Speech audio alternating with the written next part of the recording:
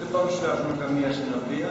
Είναι ένα μέρος της χοροδίας, η οποία υπάρχει τώρα επί 150 μαθητάς στην Ιερά Αρχιεπισκοπία Θηρών, που εκεί είναι ο σπίτιμος πλέον διευθυντής και παρακολουθώ όλα τα μαθήματα. Η χοροδία μας θα δοθεί σε μια άλλη περίπτωση να είναι ορομενής η χοροδίας. Ευχαριστώ. Απόψε θα σας κουράσουμε διότι εμείς δεν εμφανιζόμεθα σαν χορός. Σφάλμα είπα η ορολογία χοροδία, είναι χορός. Η χοροδία είναι μόνο για την Ευρωπαϊκή. Σας παρουσιάζω λοιπόν τους συνεργάτες μου, οι οποίοι είναι όλοι καθηγητές διαφόρων σχολών, απόφοιτοι του Ελληνικού Οτίου Αθηνών και της Σχολής Μισθωτήρη Μουσικής Περιόδου του Πίξα Ελληνής, και ιεροψάτε, πρωτοψάτε στους λόγους.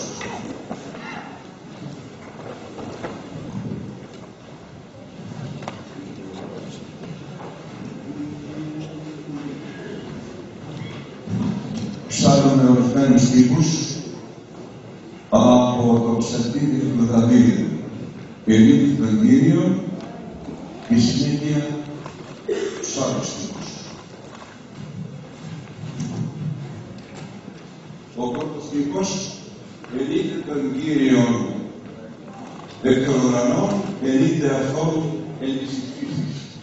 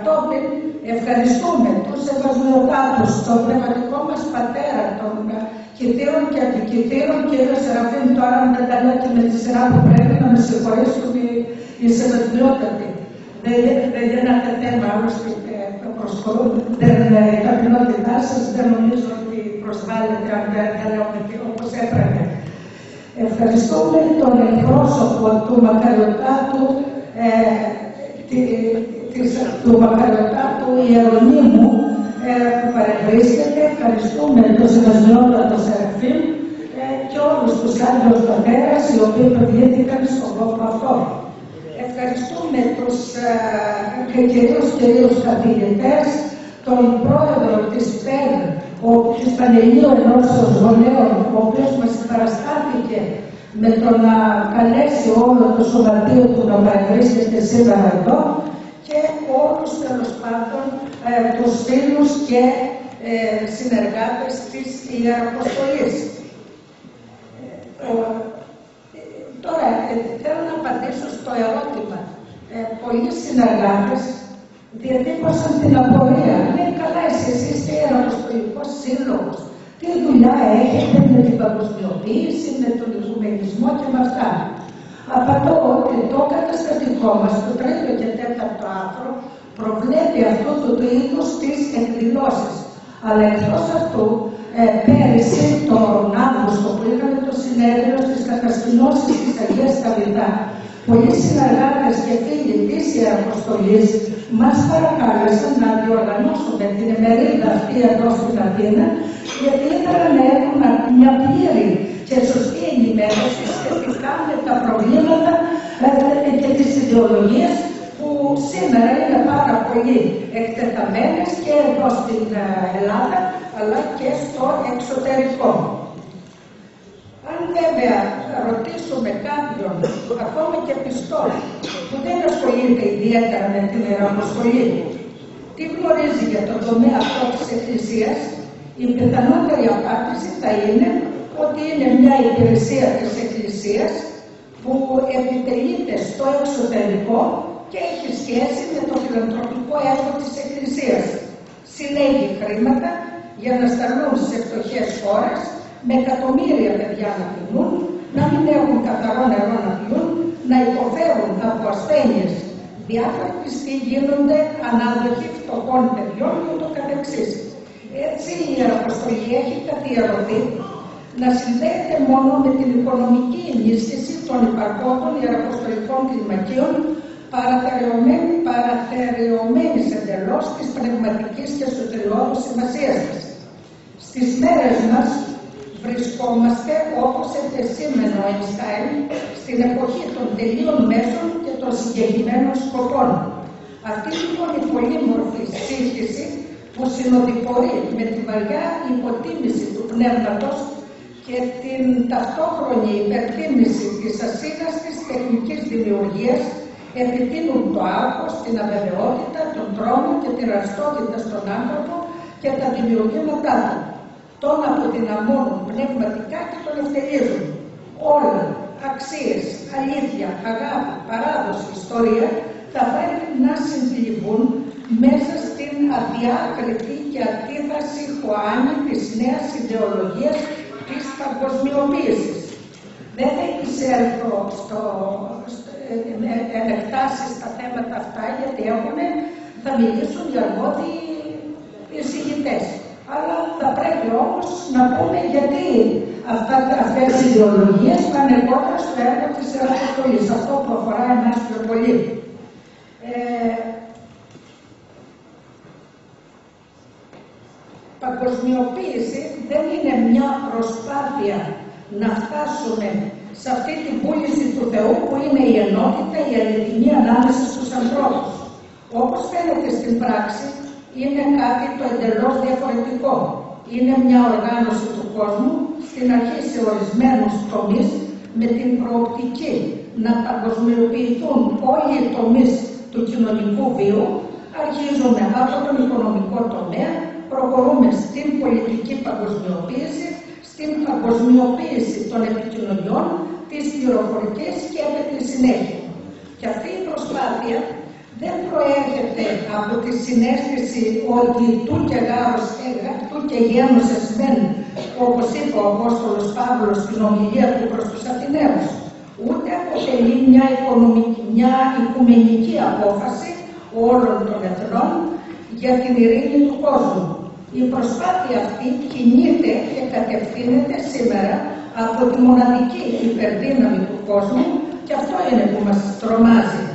Ο Αρχιεπίσκοπος Αθηνών Μακαριστός Χριστόδουλος είπε ε, με άλλα λόγια, παγκοσμιοποίηση σημαίνει εξαμερικανισμός και ο Οικουμενικός Πατριάρχης στην ομιλία του στο Παγκόσμιο Οικονομικό Φόρουμ του Νταβός στις 2 Φεβρουαρίου του 1999 ετώνησε ότι η παγκοσμιοποίηση είναι απέτηση των οικονομικών κολοσσών. Δηλαδή, τα οικονομικά συμφέροντα των ισχυρών υπαγορεύουν την παγκοσμιοποίηση και όχι η θρησκεία, ο πολιτισμός, οι ηθικές αξίες και τέλος η αξία του ανθρωπίνου προσώπου. Όπως η παγκοσμιοποίηση σε πολιτικό επίπεδο θέλει να ενώσει τον κόσμο και να κάνει ένα παγκόσμιο κράτος, μια παγκόσμια ηλεκτρονική διακυβέρνηση, ένα παγκόσμιο νόμισμα, μια παγκόσμια οικονομία, έτσι και ο οικουμενισμός σε θρησκευτικό επίπεδο θέλει να ενώσει όλες τις θρησκείες και όλες τις ομολογίες σε μια παγκόσμια θρησκεία αψηφώντας και περιθεριοποιώντας τις τεράστιες γιγαντιές και χαόδες δογματικές διαφορές και ξετεμελώνοντας εκ βάθρων τα δόγματα και την πίστη της Ορθοδόξου Εκκλησίας. Ο οικουμενισμός χαρακτηρίζεται η μεγαλύτερη αίρεση όλων των εποχών επειδή εξισώνει όλες τις θρησκείες και τις πίστης. Για το βλέπον το θέμα της πανερέσεως του οικουμενισμού ε, η εξαιρετική σημασία θεωρούμε τις απόψεις συγχρόνων θείων πατέρων γιατί ο όσπορης του Αγίου Πνεύματος είναι η γνήσιη εκφραστής του Θείου θελήματος. Πάντοτε η Εκκλησία βασίζεται στους λόγους τους και το παράδειγμά τους, ώστε η πορεία της να είναι ορθή. Για το θέμα αυτό οι απόψεις τους ταυτίζονται. Όλοι συμφωνούν ότι πρόκειται περί αιρέσεως. Από όλους τους γέροντες που γράφουν για την πανέρεση του οικουμενισμού, το γέροντα Φιλόθεο Ζερβάκο, το γέροντα Λιφάνιο Θεοδωρόπουλο, το γέροντα Γαβρίλη Διονυσιάτη, τον Όσιο Κωστίνο Κόποβιτ, τον ομολογητή, τον γέροντα Παΐσιο, τον Άγιο Νικόλαο Αχρίδος, τον γέροντα Σοφρόνιο του Έσεξ, τον γέροντα Θεόκριτο Διονυσιάτη κλπ. Παραθέτουμε μόνο ένα απόσπασμα των λόγων του γέροντος Παϊσίου, ο οποίος είπε «Ο διάβολος άπλωσε τρία προκάμια να πιάσει όλο τον κόσμο τους πλουσίους με, το, με το να τους πιάσει με τη μασονία, τους φτωχούς με τον κομμουνισμό και τους πιστούς με τον οικουμενισμό. Ο ίδιος άλλοτε σε συνάξεις μοναζουσών επεσήμανε οικουμενισμός και κοινή αγορά ένα κράτος μεγάλο, μια θρησκεία στα μέτρα τους. Αυτό, αυτά είναι σχέδια διαβόλου. Σκοπός του οικουμενισμού δεν είναι να αδειάσει τους ιερούς ναούς από πιστούς. Αντίθετα τους θέλει ασφιχτικά γεμάτους, μόνο που αυτοί οι πιστοί, σε εισαγωγικά, θέλουν αλλοιωμένη και οικουμενιστική πίστη και διδασκαλία. Για την επιτυχία αυτού του σκοπού παραθεωρεί, είπαμε, το δόγμα, το υποβιβάζει και ελαχιστοποιεί τη σημασία του. Ας ενωθούν, λένε οι χριστιανοί, και τα δόγματα θα συζητούν αργότερα οι θεολόγοι.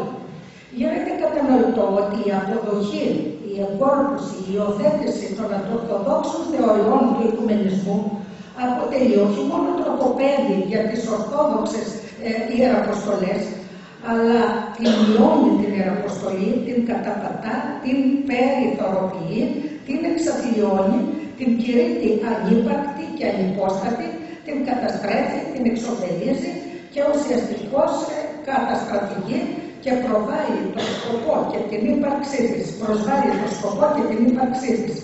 Αν λοιπόν σύμφωνα με τους οικουμενιστές όλες οι ομολογίες και οι θρησκείες είναι το ίδιο, αν όλοι στον ίδιο Θεό πιστεύουμε, αν οι αιρέσεις και οι θρησκείες είναι διαφορετικοί, αλλά αποδεκτοί τρόποι προσεγγίσεως του ίδιου Θεού, τότε ποια αξία έχει η ύπαρξη της Ιεραποστολής.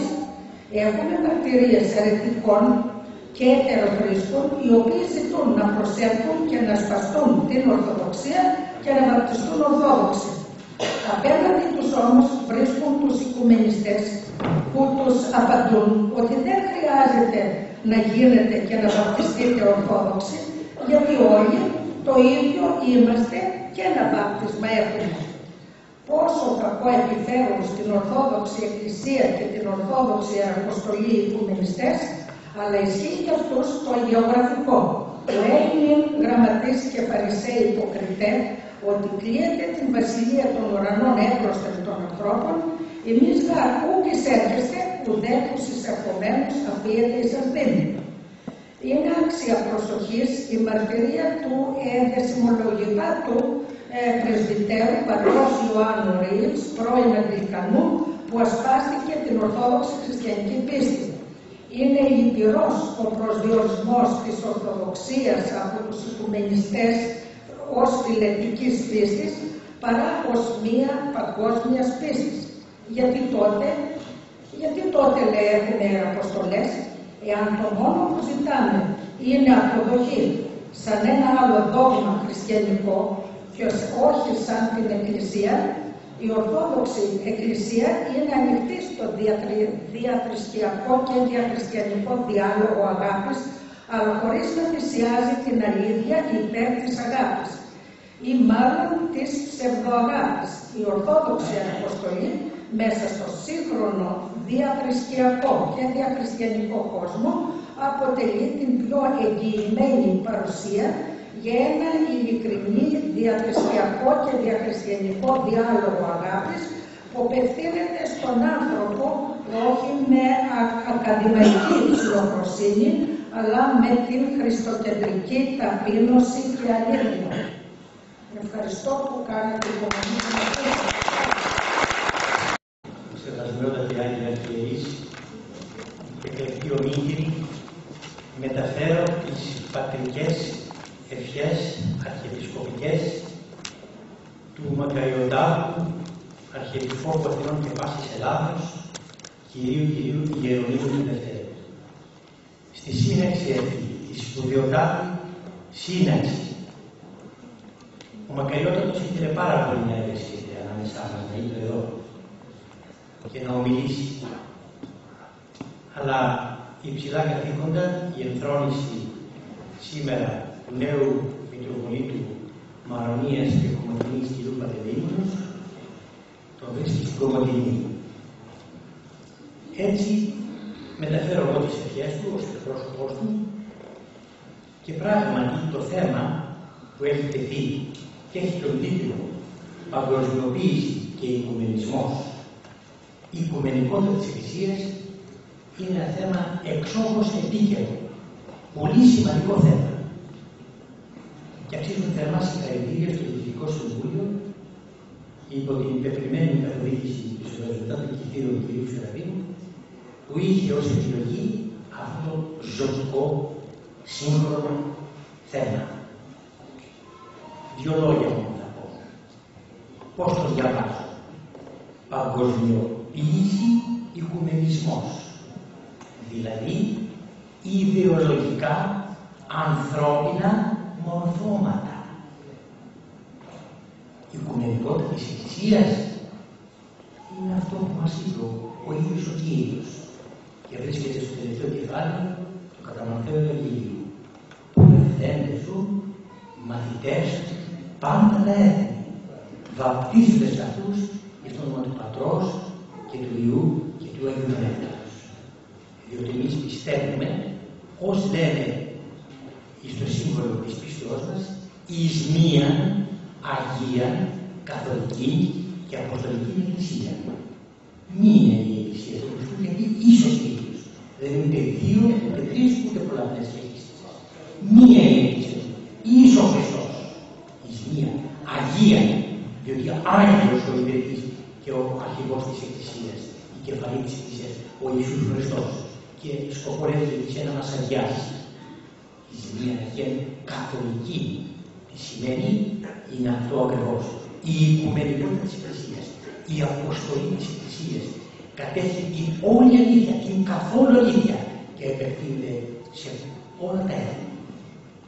Και στηρίζεται στους 12 θεμελίους πίθους του Αποστολικού Κηρύγματος που ήκουσαν ζωντανά τον ίδιο τον Κύριο τους 12 Αποστολούς. Εύχομαι και προσωπικά, μεταφέρω τις ευχές του Μακαριωτάτου, και προσωπικά καλή επιτυχία σε αυτήν τη σπουδαία θεωρητική ημερίδα των διαευχών των παρασταμένων Αγίων Αρχαίων.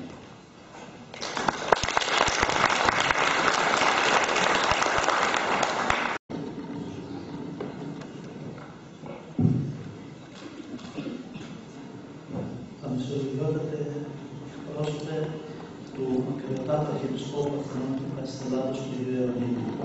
Σεβρόντε Άγιοι Επιβεβαιός, Άγιοι Πατέρες, καλυμμένοι κύριοι καθηγητές των Πανεπιστημίων, κυρία Πρόεδρε του Παναγίου Χριστιανικού Ομίλου Ορθοδόξου Ιεροστολής μετά των μελών αυτής. Αγαπητοί μου αδελφοί, ευλογημένο το Ιερό Τριώδιο και χαριτόδωρος σας είναι η Αγία και Μεγάλη Μεσταρακοστή που μας έρχεται. Συναντηθούμε σήμερα εν ονόματι Κυρίου στο μέσο της τρίτης εβδομάδας του Ιερού Καταγητικού Τριωδίου για την μελέτη και επικοδομητική προσέγγιση ενός βασικού κερίου και επικαίρου θεωρητικού και χριστολογικού θέματος. Θα μου επιτρέψετε πριν αναφερθώ δύο λίγο εισαγωγικό στο θέμα αυτό, να προβώ στην εξή επισήμανση. Δεν ξέρω πόσοι από εμάς τους Ορθόδοξους Χριστούς που αποτελούμε το Ορθόδοξο Χριστιανικό πλήρωμα και πόσο και σε ποιο βαθμό ενώσαμε ή και βιώσαμε στο τέλος της δεύτερης μετά Χριστών χιλιετίας μια μεγάλη αλήθεια ένα από τα πιο σημαντικά γεγονότα της εκκλησιαστικής μας ζωής. Το μεγαλύτερο ίσως θρίαμβο της Εκκλησίας του Χριστού στη μακραίωνα πορεία της. Ένα θρίαμβο που τις πραγματικές διαστάσεις του καθώς ζούμε στους ταραγμένους και συγκεκριμένους καιρούς μας και τους ταχύς ρυθμούς των δεν έχουμε ακόμη συνειδητοποιήσει. Ο θρίαμβος αυτός σημειώθηκε στις χώρες όπου κατά τον μεγαλοφωνότατο προφήτη Ισαΐα επί πολλές δεκαετίες το πονηρό ονομαζόταν καλό και το καλό πονηρό. Το σκοτάδι θεωρήθηκε ως φως και το φως σκοτάδι. Το πικρό παρουσιάστηκε ως γλυκή και το γλυκή πικρό. Το ψεύδος χαρακτηρίστηκε ως αλήθεια και η αλήθεια ψεύδος. Εκεί όπου η αθερία έγινε νόμος και η θεοπαράδοτη χριστιανική πίστη λογίστηκε ανοησία και παρανομία. Η Αγία μας Εκκλησία σύρθηκε εμπλησωμένη στα δικαστικά έδρανα. Οδηγήθηκε ταπεινωμένη στην εξορία και καρφώθηκε καθημερινή στο πιο φρικτό και επώδυνο σταυρό που γνώρισε στην δυσκυλιατή ιστορική διαδρομή της. Η διωγμή της πίστεως στα ολοκληρωτικά καθεστώτα του Βορρά ήταν η πιο μεγάλη σε ένταση και διάρκεια και οι διώκτες φάνηκαν σκληροί και απεινείς απέναντι στους πιστούς με τα φοβερά βασανιστήρια και τους τρόπους εξοδόσεως που επενόησαν όσο ποτέ άλλοτε. Στα κράτη του αθέου μαρξισμού ο διωγμός ήταν ολοκληρωτικός, συνεχής και ανελέητος. Μας είναι γνωστά τα καταθλιπτικά εκείνα γεγονότα, ανώτερα κάθε περιγραφής. Αλλά και δεν έχω χρόνο να επεκταθώ στις ζωφερές και ανελαίτες εκείνες εποχές. Όμως, στο τέλος του 20ου αιώνα, το φανταστερό εκείνο οικοδόμημα των αθειστικών καθεστώτων της Ανατολικής Ευρώπης κατέρευσε σαν χάρτινος πύργος. Οι διώκτες της Ορθοδοξίας υποχώρησαν κατά κράτος μηδενός διώκοντος. Η Εκκλησία του Χριστού κατά την ομολογία σεβαστού πνευματικού πατρός έβγαινε και πάλι από τις καταπόμπες στολισμένη ως προφήραν και βίσον τα αίματα των μαρτύρων της ακμαία, θριαμβεύτρια, λαμπρότερη από τον ίδιο, ωραιότερη από τη σελήνη, δυνατή όσο ποτέ. Τη δύση της Δευτέρας Χιλιετίας φώτιζαν με το ηλαρό τους φως τα φωτοστέφανα εκατομμυρίων συγχρόνων μαρτύρων της πίστεως, η οποία απεδείχθη για μια άλλη φορά η νίκη, η νικήσασα των κόσμων. Αλλά ενώ η Ορθόδοξη Εκκλησία μας αντιμετώπισε τόσο επιτυχώς και νικηφόρος κατά τον δίσαντα αιώνα τους εξωτερικούς της εχθρούς, ετούτης η εκ των έσω πολεμική στον αιώνα που πέρασε και σε αυτόν που ζούμε, πήρε και παίρνει ένα πιο δραματικό και απειλητικό χαρακτήρα. Η αίρεση παρατηρεί ο ίδιος σεβαστός πνευματικός πατήρ ως εσωτερικός κίνδυνος δεν παρουσιάστηκε αυτή τη φορά με το αληθινό του πρόσωπο. Ο κίνδυνος προευλήθη από το πνεύμα του συντηρητισμού που άρχισε σταδιακά να διεισδύει μέσα στα σπλάχνα της Ορθοδοξίας. Και δυστυχώς αυτό το πνεύμα το υπηρέτησε παρά τις ενδεχομένως καλές στην αρχή προθέσεις της και η λεγόμενη οικουμενική κίνησης που αναπτύχθηκε στο 20ο αιώνα και ζητούσε να βοηθήσει στην πραγματοποίηση του ιεροτάτου σκοπού της επανενώσεως όλων των χριστιανών. Όμως ο οικουμενισμός, ο οποίος ανεπτύχθη για να υπηρετήσει με διάφορους μεθόδους αυτή την προοπτική, απεδείχθη τελικώς ο σύγχρονος μέγας πειρασμός της Ορθοδοξίας κατά τον σπουδαίο αείμνηστο κανονολόγο καθηγητού του Ισουνίου Κωνσταντίνο Μουραντίδη. Το πνεύμα ενός παγκόσμιου θρησκευτικού συγκριτισμού κυριάρχησε στις σχετικές ενέργειες. Η Ορθοδοξία σήμερα που βάλετε έσωθεν για να καταρριφθεί το θεόπτιστο τείχος της Ορθοδόξου Αγιωματερικής παραδόσεώς της να μετατοπιστούν ή και να αφανιστούν τελικά τα αιώνια όρια Άγιοι Πατέρες έθετο με τα θεοφώτιστα δόγματα και τους θείους και ιερούς κανόνας και του του τρόπος να εξισωθεί η μία Αγία Καθολική και Αποστολική Εκκλησία με τις ετερόδοξες ομολογίες, τις αιρέσεις και ακόμη με τις διάφορες θρησκείες, καλείται και πάλι να δείξει την αληθινή της χριστιανική ταυτότητα και να υπερασπιστεί την ακαιρεότητα του δόγματος και της Ορθοδόξου δογματικής διδασκαλίας. Προκαλείται για να διατηρήσει τη σταθερή και ασάλευτη πίστη και πεποίθησή της ότι είναι και παραμένει η αληθής, οργανική και αδιάσπαστη συνέχεια της αρχαιοκαθολικής Εκκλησίας. Η Εκκλησία των Αγίων Αποστόλων, των Αγίων Μαντήρων και των Θεοφόρων Πατέρων, η μόνη και άσπηρος Αγία του Χριστού Εκκλησία, μέσα στην οποία ο Χριστός πραγματοποιεί τον ύψιστο σκοπό της ζωής του, τη σωτηρία και τη θέωση. Είναι λοιπόν η Αγία μας Εκκλησία όχι μόνο η νικήτρια και θριαμβεύτρια κατά των εσωτερικών εχθρών της, αλλά και η διαρκώς μαχωμένη και ανεβαλαίωσα μέσα στα κύματα ενός κύκλου εσωτερικού εχθρού, τους συγχρόνου θρησκευτικού συντηρητισμού και της πανερέσεως του οικουμενισμού, ο οποίος ως άλλος οδοστρωτήρας σας στην εξίσωση και ισοπαίδωση των πάντων μέσα στο θρησκευτικό χώρο και στοχεύει στην επιβολή ενός δογματικού και θρησκευτικού συντηρητισμού και στην δημιουργία ενός είδους πανθρησκείας.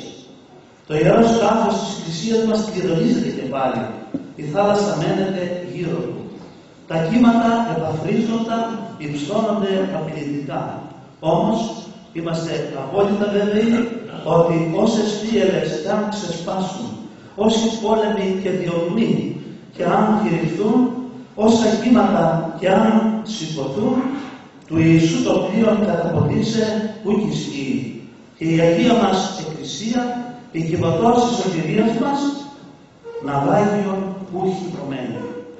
Άγιοι Πατέρες και αδελφοί, με αυτή την επισήμανση και αυτά τα δεδομένα, τα ευχάριστα και τα δυσάρεστα, τα θεάρεστα και τα λυπηρά και ανησυχητικά, το Διοικητικό Συμβούλιο και τα μέλη του Πανελληνίου Χριστιανικού Ομίλου Ορθοδόξου Ιερουσαλήμ αποφάσισαν, έπειτα και από τη δική μου ως πνευματικού συγκατάθεση και παρότρινση, να οργανώσουν τη θεολογική αυτή ημερίδα με γενικό θέμα, όπως ακούσατε προηγουμένως, παγκοσμιοποίηση, οικουμενισμό, οικουμενικότητα της Εκκλησίας. Και με τέσσερις επιμέρους, τέσσερα επιμέρους θέματα, τα οποία είδατε στις προσκλήσεις και το πρόγραμμα της ημερίδος.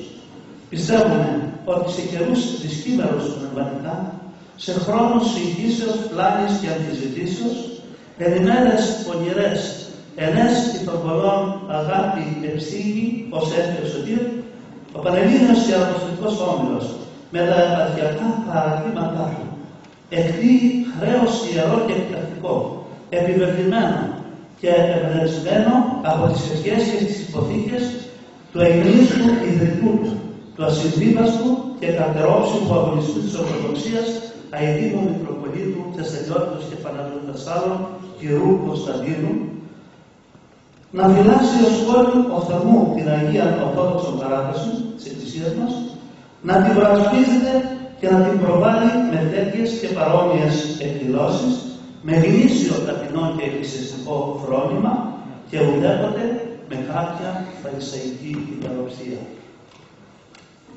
Λυπούμεθα ειλικρινά όταν παραθεωρούνται και παραβιάζονται οι θείοι και οι ιεροί κανόνες, που είναι αιωνίου κύρους και παντοτινής οικουμενικής ισχύως. Διότι αφενός μένει τίποτε το θετικό, ουσιαστικό και δυστελές δεν επιτυχάνεται με τον τρόπο αυτό, μόνος ο σκανδαλισμός του χριστιανικού πληρώματος, ορθοδόξου πληρώματος παράγεται και αφεντέρου κατά των λόγων του αημίστου και κεφαλαιωμένου αντιμαντρίου του πατρός Επιφανίου Θεοδρομπούρου, Αγίου και διακεκριμένου κληρικού και αρίστου κανονολόγου, οι ιεροί κανόνες παραδιαζόμενοι και εκτοπιζόμενοι εκδικούνται. Μας λυπεί ιδιαίτερα ο συγκροτισμός, η εκκλησιαστική κοινωνία και συμπροσοχή και η προσφώνηση ως κανονικών επισκόπων και θρόνων αποστολικών διαδόχων ακοινωνήτων εκκλησιαστικών και αιρετικών προσώπων όταν μάλιστα αυτά έχουν την ποντιφική ιδιότητα και την ιδιότητα βεβαίως παράλληλα του αρχηγού κράτους. Ούτε έτσι στην τιμή της επισκόπης αποκαλούν τους αιρετικούς αξίους ή και έχοντας αποστολική διαδοχή.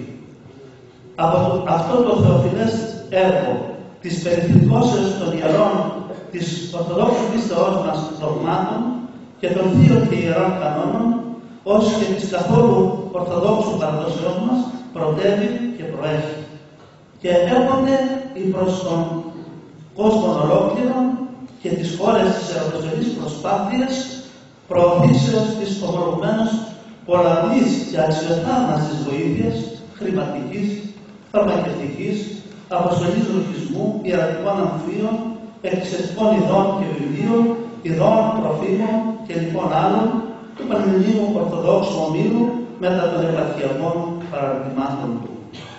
Θα μου επιτρέψετε πριν κατέλθω από το βήμα να συγχαρώ και να ευχαριστήσω θερμά τους ελογηματάρους, κυρίως εισηγητάς της αποψινής ημερίδος, των πολυελεκτών αδελφών μου και της πενταετίων συγγεροντή Καστηρά Μητρόπολη Ήδρας, Πανσοβιό Καθημερινή την πατέρα Νικόδημα Νεράκη, τους κυρίους καθηγητάς των Πανεπιστημίων Κωνσταντίνων Νιάρχων, Δημήτρων Τσελεγίδη και Απόστολων Νικολαίδη, τον συντονιστή της Μερίδος ομότιμων καθηγητή κύριων Εμμανουήλ Μητρογεννήτη, τον Σεβασμιότατο Μητροπολίτη Πυραιός, κύριο Σεραφείμ, για την παρουσία και την διάθεση του διακεκριμένου ραδιοφωνικού σταθμού της Κυραϊκής Εκκλησίας για τη μετάδοση της ημερίδος, το Βασιλογιώτο εκπρόσωπο του Μακριωτάτου, τους Αγίους Πατέρας και Αδελφούς και πάντα σε εμάς τους αγαπητούς ευχαριστώ αδελφούς, οι οποίοι τιμάτε με την παρουσία σας στο θεολογικό μας αυτό συμπόσιο. Εύχομαι καλή ακρόαση και καλή και ευλογημένη Σαρκοστινέα.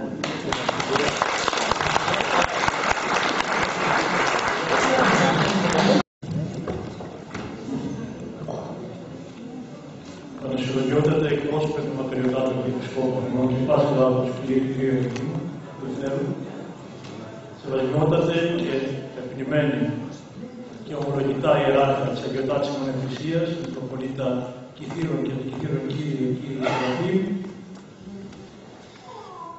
Πανεσυλλογιότατη, Αδεσμολογιότατη, Ελογιμότατη, ερήτημε κυρία Πρόεδρε και μέλη του Διοικητικού Συμβουλίου, Ορθοδόξου Ομίλου Ιεραποστολής, αγαπητά μέλη του Παρνασσού, σε αυτή την εποχή των συνοικήσεων και των αντινομιών, η επιλογή αυτού του θέματος νομίζω ότι είναι υπεράγανη επιτυχής και μάλιστα εγγυζούσης της μεγάλης εορτικής της Ορθοδοξίας. Ζούμε σε μια εποχή που επιδιώκεται μεθοδικά η ομογενοποίηση των αντιλήψεων, η απομείωση, η απομείωση των ανθρωπίνων ιδεωδών, η σύγχυσης και η προσπάθεια επιτεύξεως μιας καταστροφικής πορείας της ανθρώπινης ιδιοπροσωπίας. Σε αυτή λοιπόν την τόσο εφιαλτική εποχή καλούμεθα με απόλυτη ταπείνωση και προσευχή να ψώνουμε τις καρδιές μας προς εκείνον ο οποίος εσκήνωσε εμεινή από άφατη αγάπη και άφατη κένωση και έγινε για όλους εμάς η οδός ενήπορευσόμων. Η τραγικότητα των περιστάσεων επιβάλλει να αποκτήσουμε όλοι αγωνιστικό φρόνημα. Δεν είναι τυχαίο ότι οι πρώτοι που μίλησαν για την παγκοσμιοποίηση ήταν οι σατανίστριες Έλενα Πλοβάτσκι και Αλίκη Μπέι, οι γνωστές εκπρόσωποι της σύγχρονης θεοσοφίας. Και δεν είναι τυχαίο ότι η εκ των ταυτοτήτων των Ελλήνων αποδόμησης της χριστιανικής του έγινε μεταπέτηση του γνωστού εβραϊκού λόμπι, το οποίο επισκέφθηκε τον τότε πρωθυπουργό της χώρας και απήντησε τη διαγραφή του θρησκεύματος.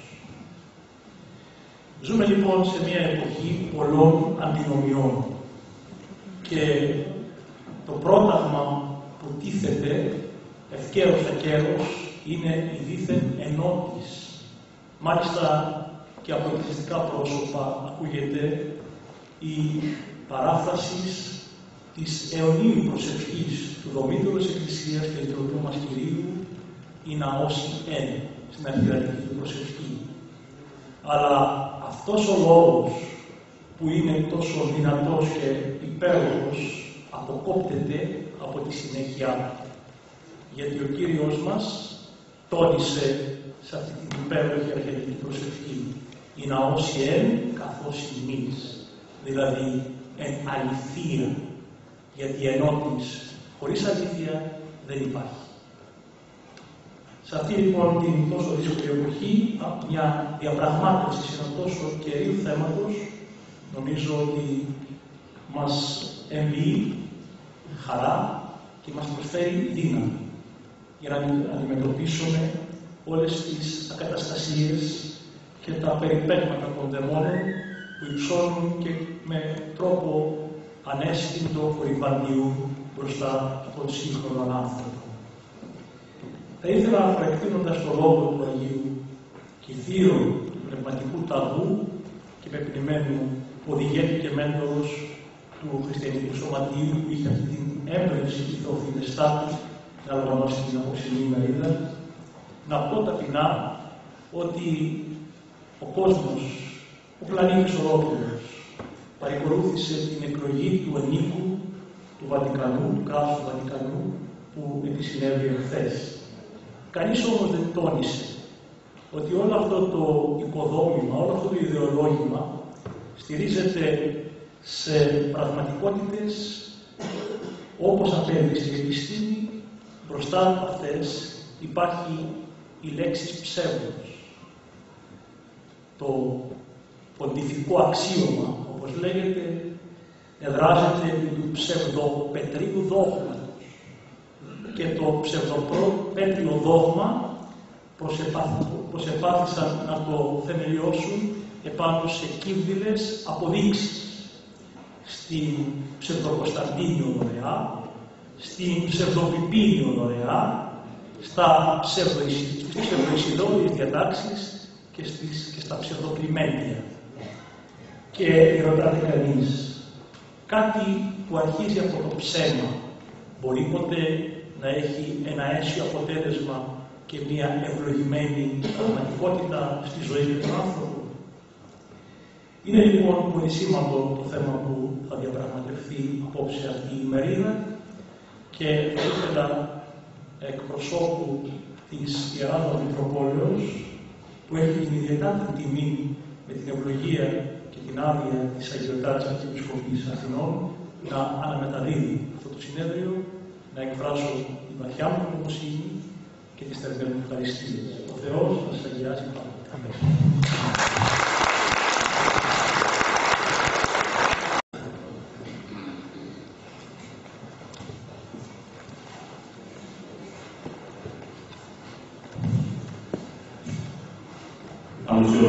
Ανουσιολογιότατε εκπρόσωποι του Μακαριωτάτου Αρχιεπισκόπου Αθηνών κ. Ιωακήμου, σεβασμιότατοι Άγιοι Αρχιερείς, σεβαστοί πατέρες, Ρήγμε κυρία Πρόεδρε,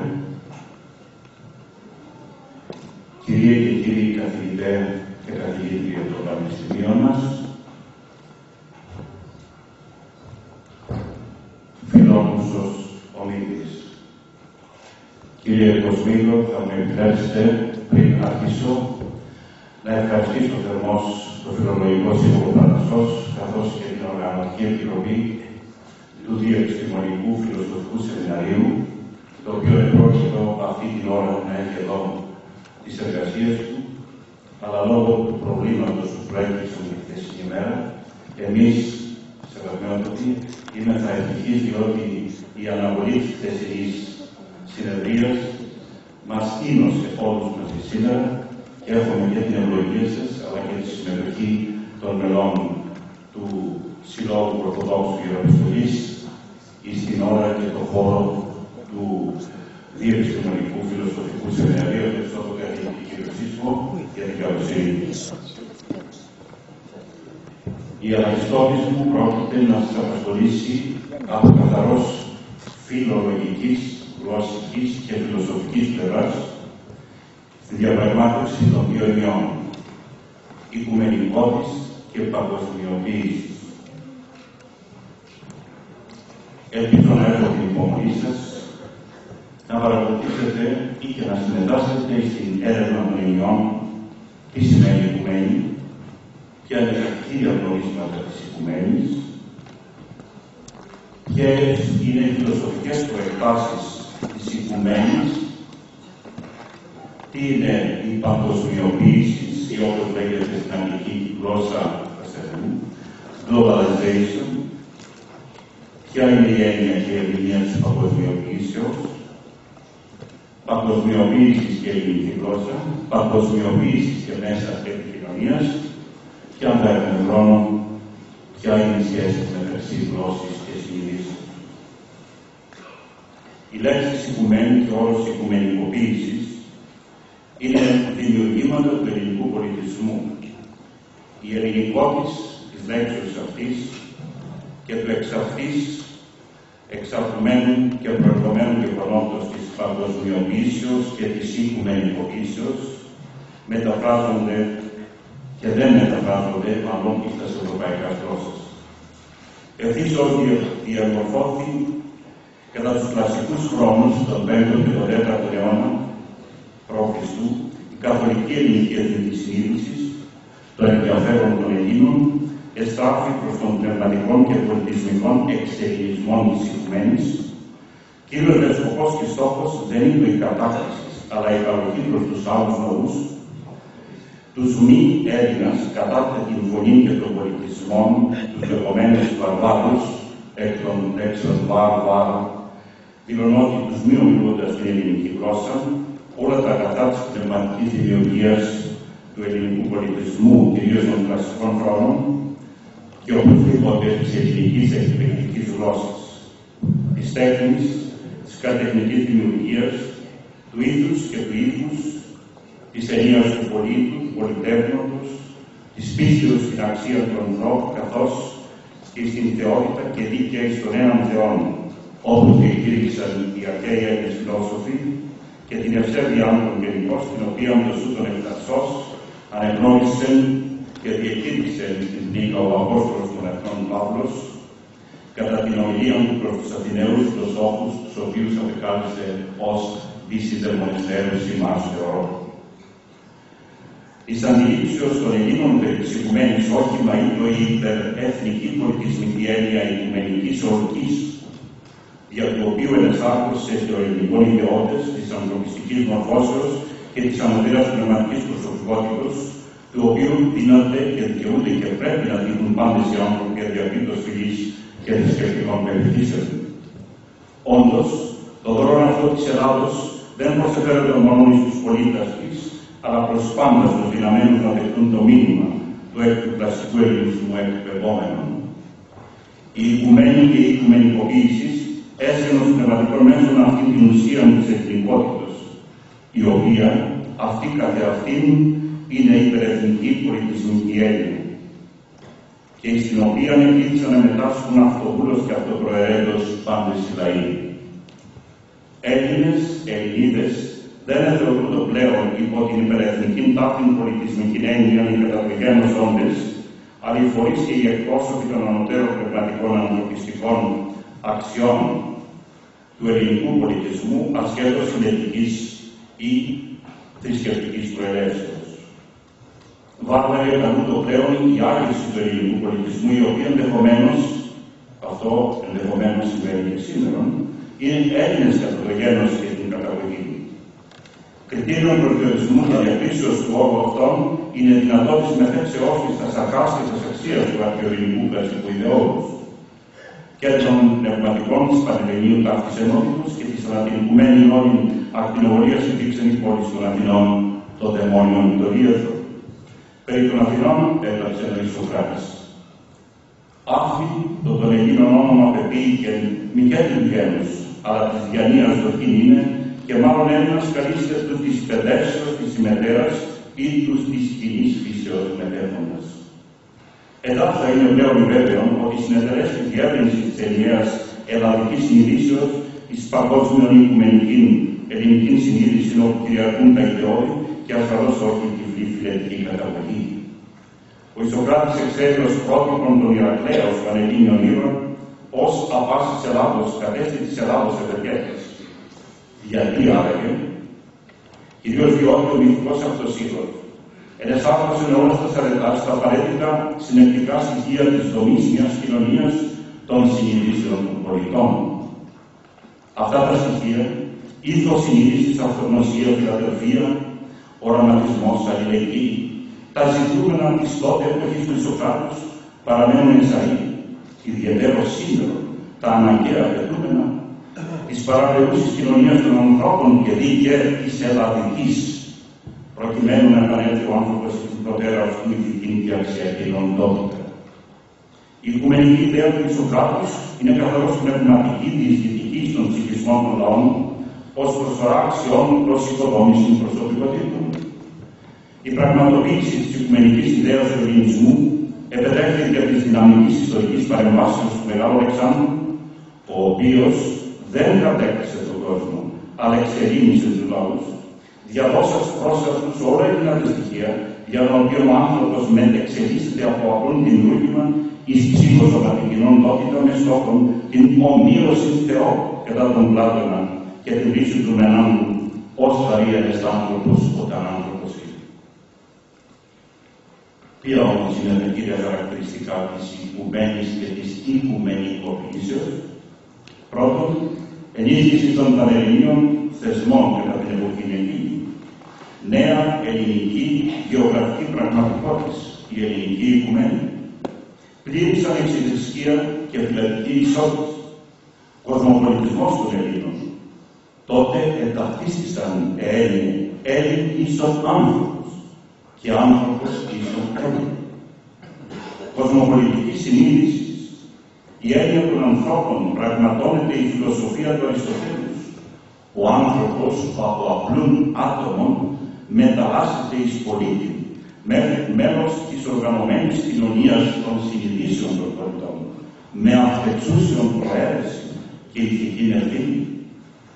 Επέρχεται μια γλωσσική ενοποίηση, δημιουργείται η κοινή ελληνιστική αλεξανδρινή παγκόσμιος ελληνική γλώσσα. Έχουμε δε την Κυριακή Αλεξανδρινή διαλέκτου, η οποία μετεξελίχθη στην κοινή Αλεξανδρινή. Έχουμε την βαθμιά αναπλούστευσης και ενσωμάτωσης νέων στοιχείων λέξεων και φράσεων εκ της διαβίνσεως του ελληνισμού. Όμως, κατά την περίοδο αυτή έχουμε σημαντικοτάτας φιλοσοφικάς προεκτάσεις. Τι έγινε αυτό. Η οικουμενικοποίηση του ελληνικού πολιτισμού έσχε τη σειρά με δίδραση και της καθόλου ελληνικής φιλοσοφικής διαδρύσης.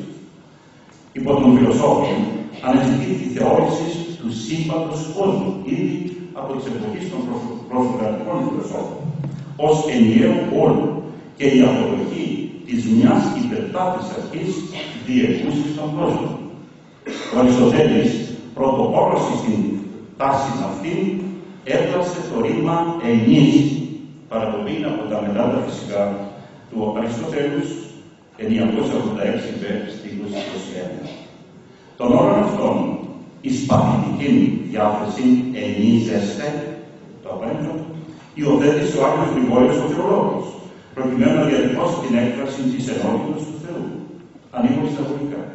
Εν χρυσή υποστάσιση, κλείνονται εισαγωγικά, κατά αναλογία προς τον αντίστοιχο όρων, ανοίγω εισαγωγικά, τριάζεστε, κλείνονται εισαγωγικά, για να διατυπωθεί η διάθεση των τριών υποστάσεων εις ένα Θεό.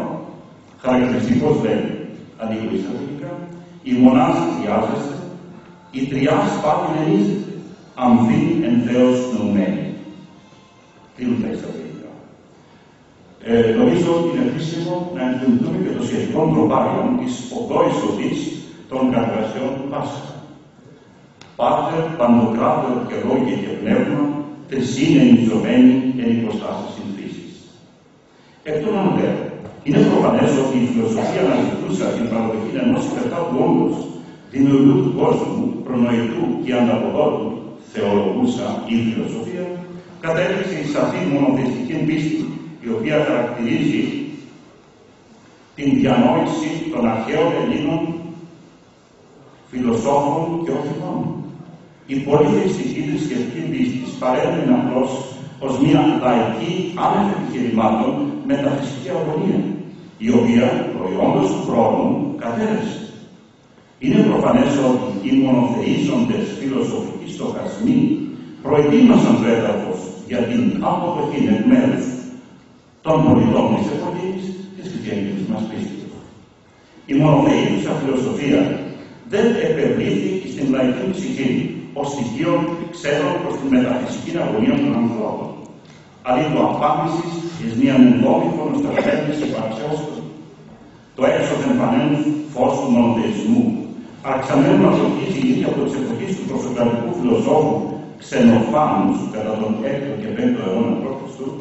συνήλπασε τα λαϊκά ψυχάς και παρά τι αντιδράσεις των ισχυρών ηγετών, οι οποίοι τότε όπως και σήμερα έχουν επενδύσει την καρδική δύναμή των εις τον υπαυτόν ελεγχόμενο πολυθεϊσμό των μαζών. Είναι πλέον βέβαιο ότι η υποφόσουσα μονοθεϊστική πεποίθησης στους Έλληνας και τα σελίδας της οικουμενικοποιήσεως του ελληνικού πολιτισμού βαθμιδών διεδόθη στον γνωστό τότε κόσμο. Είναι εξόχως χαρακτηριστική η μαρτυρία του κλίμεντος του Αλεξανδρέως, η πόντος εισαγωγικά, θεωρούμε μεγάλα έμφαση σε νόση του παντοκράτος παραπάσης της εύφρονούση πάντας φυσική κλίνων εξωτερικά. Γενικώς, έμονα φυσικές θεωρίες και φύσης συνετέλεσαν στην όλη διαμόρφωση του πνεύματος και των αρχών για τον οποίο η ελληνική οικουμένη απετέλεσε το πνευματικό, το μορφωτικό και το γεωπολιτικό πλαίσιο εντός του οποίου η εξαποκαλύψεως πίστης των Ιησού Χριστών έβρεν την άριστη υποδοχή. Όχημα προς επίτευξη της οικουμενικότητας του ελληνισμού υπήρξε μαζί διαλέκτη η κοινή αλεξανδρινή μορφή της ελληνικής γλώσσας ως οργανική και αβίαστος εξέλιξης της αττικής κλασικής ελληνικής γλώσσης ηρίστο εμπαρόδο στο σημείο αυτό ότι διακεκριμένοι παγκοσμίου φίλοι μελετητέ του Αριστοτέλους έχουν καταλήξει στην πρόταση νόμου. Εάν δεν υπήρχε η αρχαία ελληνική κλασική γλώσσα, θα είναι αδύνατο ο Αριστοτέλης να συμβάλλει το σύστημα των 10 κατηγοριών, των λογικών κατηγοριών, επί τη βάση των οποίων υποδομήθη όλος ο ανθρώπινος πολιτισμός και ενεμελώθησαν όλα τα επιστήμια. Δίχως αυτή την κίνηση του Αριστοτέλους, σήμερα δεν θα είναι η κοινωνία και η ανθρωπότηση δεν θα έχει λάβει την εξέλιξη την οποία έχει.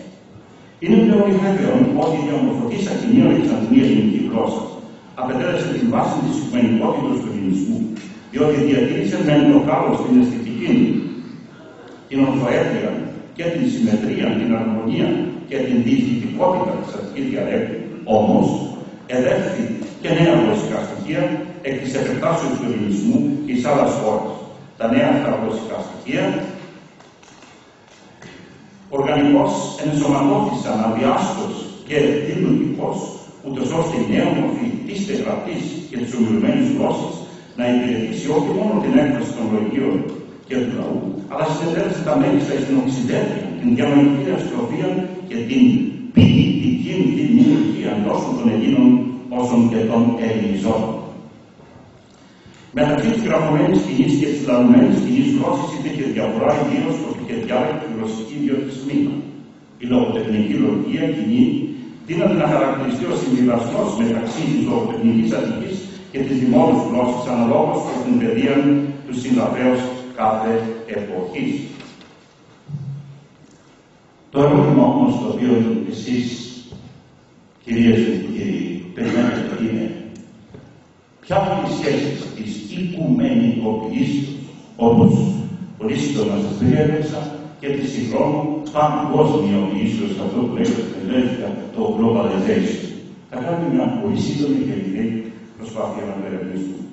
Ο όρος παγκοσμιοποίησης νοείται κυρίως και αποκλειστικός επί οικουμενικού μεν επίπεδου, όμως έχει προεκτάσεις εφόλων των πτυχών του ανθρωπίνου, ατομικού, κοινωνικού, εθνικού και διεθνικού βίου. Πρωτίστως οχέτρι στην λεγόμενη ομογενοποίηση της παγκοσμίου αγοράς μέσω της οικονομικής διαδικτυακής ενώσεως των τραπεζών ως κεντρικών φορέων της αναπτύξεως ή της στοχεύσεως των επιμέρους εθνών. Δηλαδή, η παγκοσμιοποίηση έχει ως στόχο ορισμένοι φορές να στοχεύσουν.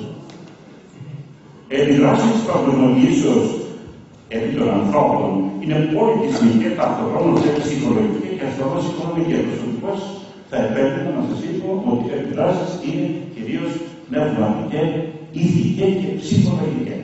Όταν ψυχολογικός καταρρεύσεις ένας άνθρωπος, κατόπιν ουδενία διάθεση έχει να δημιουργήσει, ουδενία διάθεση έχει να ζήσει. Και εκεί στο χέρι. Δηλαδή, να επέρθει η κατάρρευση του ανθρώπου αφού προηγουμένως καταστραφεί ο ψυχισμός τα αισθήματά οι σχέσεις ψυχής και σώμα. Ο πολιτισμός, ως η κορυφαία έκφραση της λεγόμενης πνευματικής καλλιτεχνικής, αισθητικής και επιστημονικής δημιουργίας, είναι το πρόθυστον και αναπατοτρίωτον επίτευγμα μιας κοινωνίας ενός λαού. οργανικού μέρους της διανθρωπικής συντάξεως των εθνών και του πλανήτη Γη. Τούτου έφερα. Πολλάκης και δίκαιος χρέος, ο πολιτισμός ανέκαθεν θεωρήθηκε συστηματικός εξελίχθη ως το κτηρίο των όπλων και των δυναμικών μέσων για το οποίο η υποταγή ενός λαού και ο εγκλισμός του στην ασφυκτικό κύκλωμα της παγκοσμιοποίησεως θα γίνει πραγματικότητας. Εφόσον ο πολιτισμός εν γέννη είναι η κατεξοχήν έκφραση της ταυτότητας της ιδιοπροσωπίας ενός λαού, η παγκοσμιοποίηση ευθέως στοχεύει εις αυτόν και πάση θυσία επιδιώκει την ομογενοποίηση όλων των εθνών προς έλεγχον κυριαρχίων και εμπολής κατά την άστευση αυτής ταύτης της συνειδήσεως των πολιτών με αυτόν τον σκοπό την κυριαρχία επαυτών. Δηλαδή, στόχος είναι η συνείδηση των πολιτών. Τα υλικά αγαθά έρχονται εις Δευτέρα και Τρίτη μοίρα. Είναι προφανές ότι η κινητήριος δύναμη προς επιβολή και επιβουλή επί των πολιτών είναι η προοδευτική καλλιέργεια της αντιλήψεως ότι η ατομική, η κοινωνική, η εθνική, η πολιτιστική δημιουργία των κρατών είναι ήδη παροχημένη. Διότι και κατεδίκουσα είναι η ανάγκη, ο εναγκαλισμός δηλωνόταν η πλήρης αποδοχή του προσφερωμένου διεθνώς κοινού πολιτιστικού και πολιτισμικού προϊόντος, εκπορευμένου εκ της μιας πλέον υπερδυνάμεως πολύ γνωστής.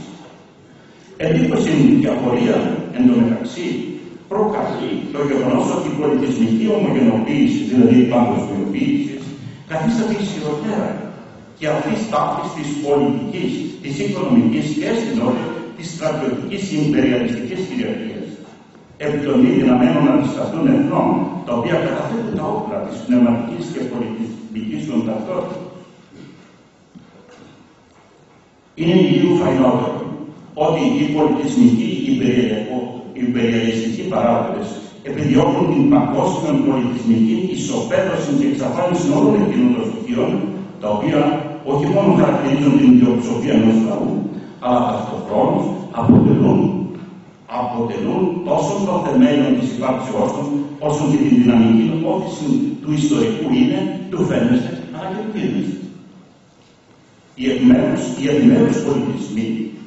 Τα συστατικά του στοιχεία, τα ήθια, τα έθιμα, το ήθος και το ύφος, η αισθητική και η καλλιτεχνική δημιουργία, πρωτίστως η γλώσσα, η έκταση, η καλλιέργεια και η ορθοέργεια, η ιστορική συνείδηση και η προοπτική του μέλλοντος, τα οράματα και τα θάματα, όπως τα έλεγε ο στρατηγός Μαξιάνη, κυρίως η χριστιανική ορθόδοξος πίστης, αποτελούν τα ανυπέρβλητα εμπόδια στην απομακρούσια διαφύσαν δημιουργία μιας ισοπεδωμένης κοινωνίας εντελώς καταναλωτική, προκειμένου να ικανοποιηθούν τα σχέδια των πολιτικών εταιριών. Προς τούτο, αναζητούνται υπ' αυτόν η ελαστική εθνική συνείδησης ενίων πολιτικών, πνευματικών ηγετών και αισθηνώνται εκκλησιαστικών ηγετών, ίδιες, επιλύσμονες της αποστολής και της ευθύνης των έναντι της ιστορίας του παρόντος αλλά και του μέλλοντος των λαών των καθίστανται ρυψάστιδες πάντοτε καθιστάμενοι όργανα των ταγών της παγκοσμιοποίησης. Το κύριο στοιχείο που χτυπά την παγκοσμιοποίηση στην πατρίδα μας είναι η ελληνική γλώσσα. Ευτυχώς ευρωμιώνει το περασμένο Σαββατοκύριακο, ε, Παρασκευή και Σάββατο, ξύπνησε επιτέλους η Ακαδημία Αθηνών και οργάνωσε μια αυτή ημερίδα παρουσία του Πρόεδρου της Δημοκρατίας, του Πρωθυπουργού και πολλών του Υπουργού της Παιδείας και εκεί οι ομιλητές εξέφρασαν τις δικές τους αντιρρήσεις εντός του Ιερού Χώρου της Ακαδημίας Αθηνών. Ευελπιστώ, έχω αμφιβολίες ότι η πολιτική και η πολιτική ηγεσία της χώρας θα ακούσει τα προτάσεις των επιστημόνων και θα αλλάξουν τρόπο και πορεία αντιμετωπίσεως της εις των κατήφορων επισκοπένης ελληνικής μας γλώσσας.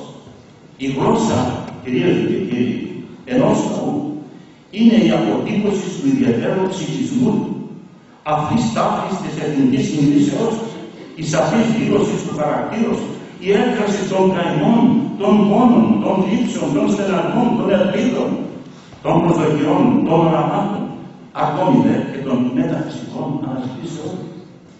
Η γλώσσα ενός λαού είναι η έκφραση της πίστεώς, της σχέσεώς του με τα του απολύτου όντως, της αποπείρας του να προσεγγίσει το άνθρωπον, το άρρητο, όπως λέγει ο Άγιος Διονύσιος Αεροπαγγέλης. Απόλυα της γλώσσης του λαού συνεπάγεται την άμεσον απώλεια της εθνικής του αυτοσυνειδησίας, της σχέσεως του εγώ, της υπάρξεώς του, της ιδίας της νοήσεώς του. Ήδη το καταστροφικό των εθνικών γλωσσών έργο συντελείται ταχύτατα και είναι ταυτότητα και αυτοί που εμάρτυρες της συντελουμένης γλωσσικής μεταβάσεως των εθνών.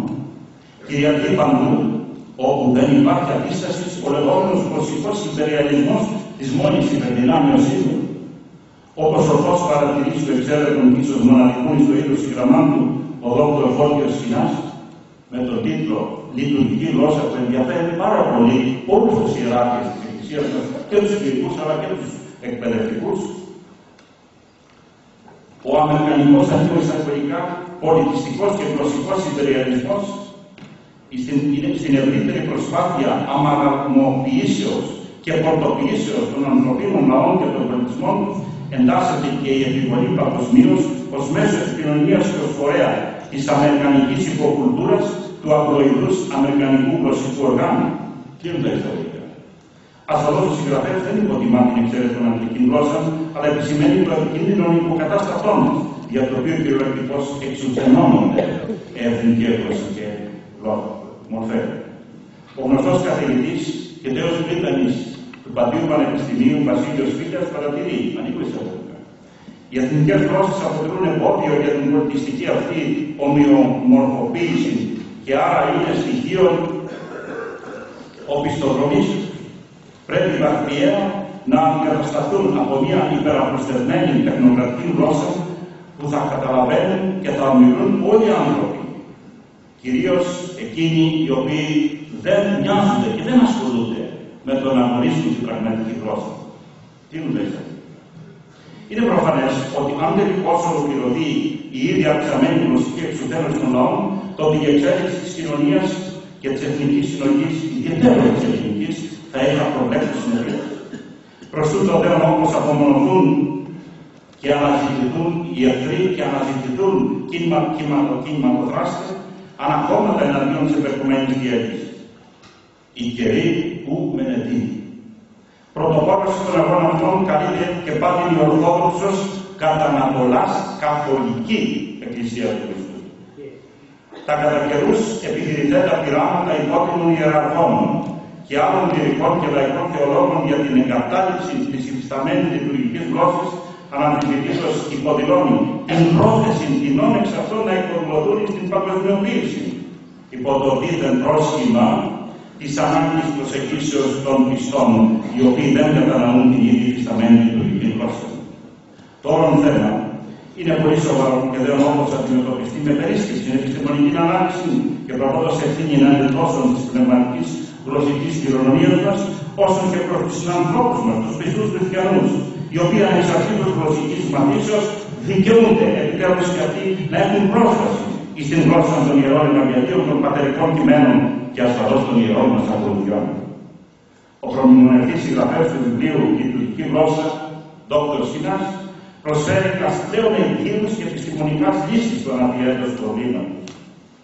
Έτρο σημαντικός αναστατικός παράγων είναι για της παιδείας και της εκπαιδεύσεως προάσπισης της εθνικής γλώσσας. Στην πατρίδα μας, ατυχώς έχουν παριστρήσει πρόσωπα επαγγελόμενα των παιδαγωγών, τα οποία προβαίνουν εις ακρίτους αντιεπιστημονικά ελεγγύας με στόχο την αποξένωση των νέων μας από την γλωσσική μας κληρονομία. Τα παραδείγματα είναι γνωστά, αλλά η συνέπεια των εθνοκτόνων και γλωσσοκτόνων ενεργειών είναι όντως τραγικές, με κορυφαία την εισαγωγή του μονοδομικού συστήματος, το οποίο απαιτέλεσε την απαρχή της καταρρεύσεως όλη τη δομή και της συλλογής της ελληνικής μα γλώσσα. Η λεωλογισμένη αντίσταση των επιστημόνων παιδαγωγών, εκείνων οι οποίοι παραμένουν συνεπείς προς τα δεδομένα της διεθνώς κρατής επιστημονικής διοντολογίας, πρέπει να είναι άμεσος και αποτελεσματική. Κάθε φυσικασμός και το χειρότερο ο χαρακτηρισμό εγκυμονεί κινδύνους και θα βράδυ. Θα επιφέραμε τα πλήγματα κατά της συνεχώ, κατά της συνοχής και της ιστορικής πορείας του Γιάννη των Ελλήνων. Είναι χρέο όλων μας, των πνευματικών ανθρώπων, των πολιτών ανδρών και γυναικών, ιδίως των νέων παιδιών τα οποία η σημερινή πολιτική, οικονομική και πνευματική ηγεσία τα οδηγεί στον εκπατρισμό. Θα λογοδοτήσουμε κάποτε ως άκουσα γενεά για αυτό το οποίο συμβαίνει σήμερα στην πατρίδα μας. Είναι έγκλημα ψυχρό κατά του ελληνισμού, κατά του γέννου των Ελλήνων. Η ελληνική γλώσσα είναι γλώσσα οικουμενική. Η γλώσσα η οποία αντιστέκεται, αμφίσταται κατά της παγκοσμιοποίησης. Το ύψιστο πνευματικό δημιούργημα των Ελλήνων και κυρίως της γλώσσης των είναι κτήμα ολοκλήρου της ανθρωπότητας. Κυρίες και κύριοι, είναι λάθος να λέγουμε ότι η ελληνική γλώσσα είναι η ιδιοκτησία των ελλαδικών Ελλήνων. Μέγα λάθος. Και κάθε φορά που επιχειρείται μια αλλαγή στην γλωσσική μετροφή, θα πρέπει να ληφθεί απόφασης, προσωπική μου άποψη, την οποία έχω καταθέσει, δυστυχώς δεν την λαμβάνω στα σοβαρά, πρέπει να ληφθεί απόφαση από ένα διεθνές παγκόσμιο συνέδριο με συμμετοχή εκπροσώπων από όλα τα πανεπιστήμια του κόσμου. Είναι μέγα λάθος να νομίζουμε ότι η γλώσσα στην οποία εμείς ομιλούμε είναι η ιδιοκτησία δική μας. Η γλώσσα η ελληνική είναι η ιδιοκτησία όλη της πολιτισμένη ανθρωπότητας και πάντα παρέμβαση. Άπλητο και αντισυμματική, καθώ είναι, είναι παρακαλώ, είναι έντοιμα κατά της ανθρωπότητα. Δεν είναι έντοιμα για την η Ελλάδα δεν υπάρχει μόνο για την Ελλάδα. Η Ελλάδα υπάρχει για την ανθρωπότητα. Και κάθε φορά που εμείς δεν τον άνθρωπο για τον ανθρώπο, οδηγούμεθα να υποσκάπτουμε τα θεμέλια του ελληνισμού, στην πραγματικότητα υποσκάπτουμε τα θεμέλια ολοκλήρου τη ανθρωπότητα. Ο ακαδημαϊκό Κωνσταντίνος Τσάσο είχε πει το εξής: Η νέα ελληνική γλώσσα είναι η έκφραση στη συνέχεια της αρχαίας ελληνική γλώσσα. Και όσοι δεν γνωρίζουν αρχαία ελληνικά δεν μπορούν να μιλούν τα νέα ελληνικά. Και η αρχαία ελληνική γλώσσα είναι η μεγάλη, χρησιμοποιώ τη φράση του, νερομάνα, η πηγή από την οποία προέρχεται η γλώσσα η ελληνική. Θα ήθελα τελευταία να επιστήσω την προσοχή σας επί των εξής. Ακριβώς. Αλότρη είναι η σκοπή της παγκοσμιοποίησεω και των ενελάδη εκπροσώπων οι οποίοι μετέφερονται πάνω σου για να ο ομφάλιος λόγος του συνδρόμου ελληνισμού από την κλασική παιδεία και την ορθόδοξο χριστιανική πίστη. Ο παθητικός καταναλωτής των αγαθών της παγκοσμιοποίησεως αδυνατεί να κατανοήσει του λόγου του αληθές. Καθίσταται εύκολος λία των κηρύκων της αποξενώσεως από την πίστη των πατέρων και των μητέρων μας και όσο νου ο ισχυρός εξαρτωτής της κλασικής και της χριστιανικής ορθοδόξης παιδείας προϊόντος του χρόνου μεταλλάσσεται εις βουλών και υπάκων εκτελεστή των εντεταλμένων για την εξουθένωση των παραδοσιακών αρχών και αξιών των στηριγμάτων της μακραιών πορείας του γέννους των Ελλήνων. Η συστηματική υπονόμευση της πατώας γλώσσης και επιδίωξή της τόσο από τα σχολεία μας όσο και από την Εκκλησία μας είναι ο στόχος της παγκοσμιοποίησης και των ενδοδόχων της νέας εποχής, η οποία αντιστάσεως μιλούσε σύντησαν ήδη την κατεδάφιση νόσων προπληγίων έχουν ακόμη απομείνει. Έχει επιστημονικώς επαληθευτεί και ιστορικώς απορριφθεί ότι από το παρελθόν και τα δημιουργήματα του πολιτισμού εκμηδενίζει κάθε δυναμική φορά του ανθρώπου προς επίτευξη των πεθέντων στόχων. Η παράδοσης δεν είναι αποκεκομένη από την ιστορική εξέλιξη. Η παράδοσης δεν είναι μουσιακή υπόθεση. Η παράδοσης είναι η γεννήτρα η οποία φρέπει και εκπαιδεύει την δημιουργική πορεία του παρόντος προς το μέλλον. Αντιθέτως η κλασική μας γλώσσα και παιδεία δεν είναι λίγο στατικών, των ανέφικτων, διημαστικοτόνικων. Ασφαλώς είναι το πόνιμο έδαφος επί του οποίου αναπτύσσονται όλα εκείνα τα στοιχεία τα οποία συγκροτούν κάθε αναπτυξιακή και δημιουργική προσπαθειά μας. Η παγκοσμιοποίηση περιφρονεί την κλασική μας παιδεία και την ορθόδοξο χριστιανική μας διδασκαλία. Καθώς ο άνθρωπος πίστε κλασικής παιδείας και της ορθοδόξης πίστεως Είναι ο κινηματογράφος, επί το οποίο θρηματίζονται τα απεργαζόμενα την εξαφάνιση του ελληνισμού και της Ορθοδοξίας σαν αντιφόρα Βέλγιο. Η αρχαία ελληνική γλώσσα, η οποία κατ' ουσία είναι πάντα νέα, δυναμική, δημιουργική, είναι η ύπαρξή μας, είναι το είναι μας, είναι η ψυχή μας. Διότι δι' αυτής η κήρυξη του σωτηριώδου λόγου του κυρίου μας έβρε την καθολική αφήγηση στον προσφοντώτη κόσμο. Σεβασμιότατη, σεβαστή και αγαπητή μου φίλο μου ομιλής, η οικουμενικοποίησης ή παγκοσμιοποίηση, την απάντηση τη δίνει, πρέπει να τη δίνει. Η γρηγορούσα και όχι η γνώμησα συνείδησης ενός εκάστοτε των πολιτών. Σας ευχαριστώ.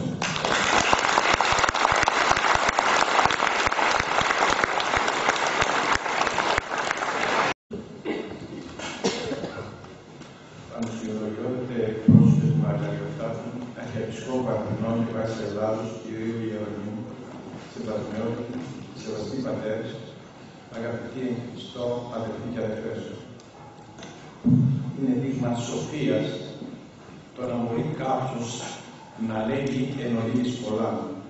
Εγώ προσωπικώς δεν έχω αυτή την ικανότητα. Θα επιχειρήσω όμως το καταδύναμη επειδή με πιέζει η παρούσα συγκυρία. Κλήθηκα να εισηγηθώ ένα τεράστιο και αμφιλεγόμενο θέμα μέσα σε μόλις 20 λεπτά. Θα είμαι γι' αυτό εξαιρετικά επιγραμματικός, προκειμένου να αναφερθώ σε όσο το δυνατόν περισσότερες πτυχές του με κάθε στιγμή. Ελπίζω να καλύψω τις τυχόν ανεπάρκειες των συνοπτικών διατυπώσεων με τις διευκρινήσεις που θα δώσω κατά τη διάρκεια της συζητήσεως στο τέλος των εισηγήσεων της συνεδρίας. Ευθύς εξ αρχής θα πρέπει να πω ότι ο οικουμενισμός αφορά κέρια το περιεχόμενο της πίστεως και της ζωής της Εκκλησίας. Ως καθηγητής της δογματικής θεολογίας, οφείλω να σας πω ότι η αγιοπνευματική ζωή των πιστών αποτελεί την θεμελιώδη προϋπόθεση των δογμάτων της πίστεώς μας. Αντιστοίχως, η θεμελιώδης προϋπόθεση των εσφαλμένων δογμάτων της πίστεως των ετεροδόξων είναι θεσμικός η ακάθαρτη και δυσόδης ζωή.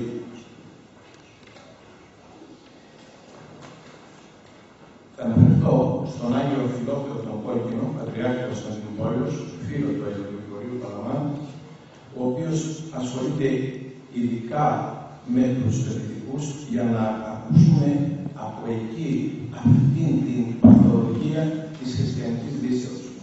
Λέγει λοιπόν για τους παιδιτικούς χαρακτηριστικά ότι διέστησαν της Εκκλησίας διυπεροψία και κύφο. Έτσι δεν έχουν και γι' αυτό δεν καταθέτουν ποτέ βιωματική εμπειρία της ακτής του θεοποιού χάριτος και ενεργείας. Προϋπόθεση λοιπόν της ετεροδοξίας είναι η εσφαλμένη και ακάθαρτη ζωή. Ειδικότερα όταν ο άνθρωπος έχει έπαρξη, είναι ακάθαρτος και ευδελικτός ενώπιον του Θεού, εφόσον ακάθαρτος παρά το Θεό, πας υψηλοκάρδιος. Γι' αυτό εμπνευστής και εισηγητής των εσφαλμένων, των εσφαλμένων δογμάτων της πίστεως, δηλαδή των ερετικών, είναι το ακάθαρτο πνεύμα του διαβόλου, σύμφωνα πάντοτε με την βιβλική και αγιοκαθολική διδασκαλία της Εκκλησίας μας.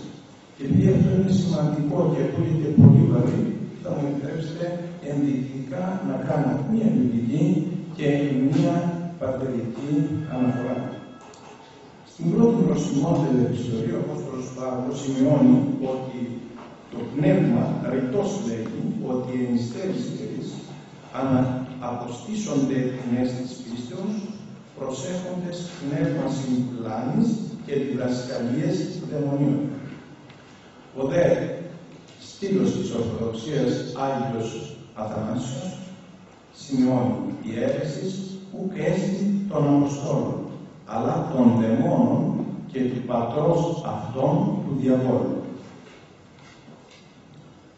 Τα παραπάνω συνιστούν το νοητό κλειδί για την βαθύτερη κατανόηση των όσων θα λέγονται επιγραμματικά στο εξής. Καταρχήν να πούμε ότι ο οικουμενισμός δεν έχει καμία σχέση με την οικουμενικότητα, δηλαδή την καθολικότητα της Εκκλησίας.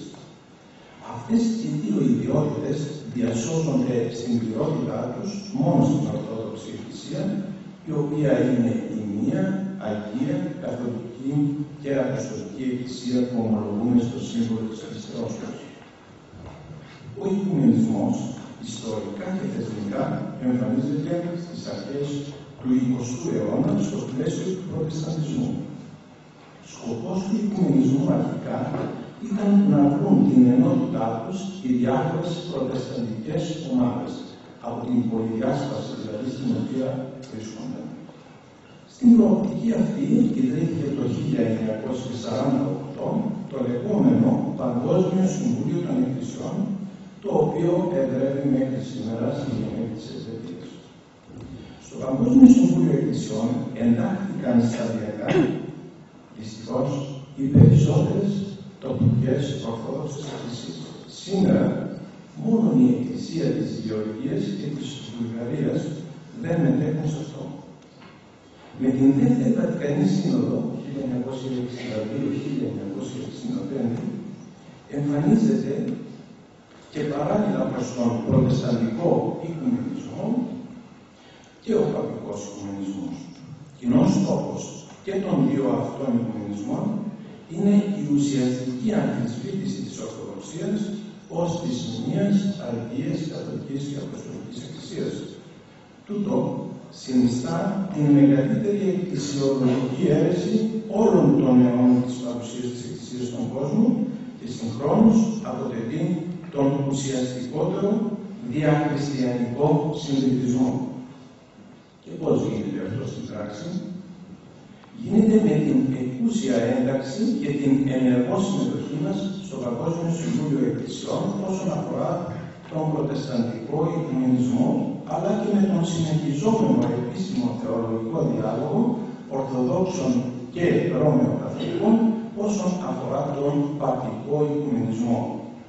Και για να γίνω σαφέστερος, συγκεκριμένα, ο Προτεσταντισμός, οι Προτεστάντες, υιοθετώντας την θεωρία των κλάδων και τον αόρατο χαρακτήρα της Εκκλησίας, αρνούνται δογματικά την ύπαρξη κάποιας επικής ιστορικής εκκλησίας ως μιας Αγίας Καθολικής και Αποστολικής Εκκλησίας. Κατά συνέπεια, υποστηρίζουν ότι καμία επιμέρους εκκλησία, οποιασδήποτε δηλαδή ομολογίας, δεν κατέχει την πυρότητα της αληθείας.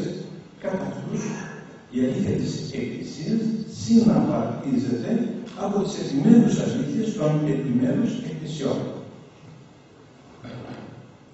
Δικόνους και άλλων. Έτσι άλλωστε κατανοείται και εκδηλώνεται από αυτούς η ύπαρξη του Παγκοσμίου Συμβουλίου των Εκκλησιών.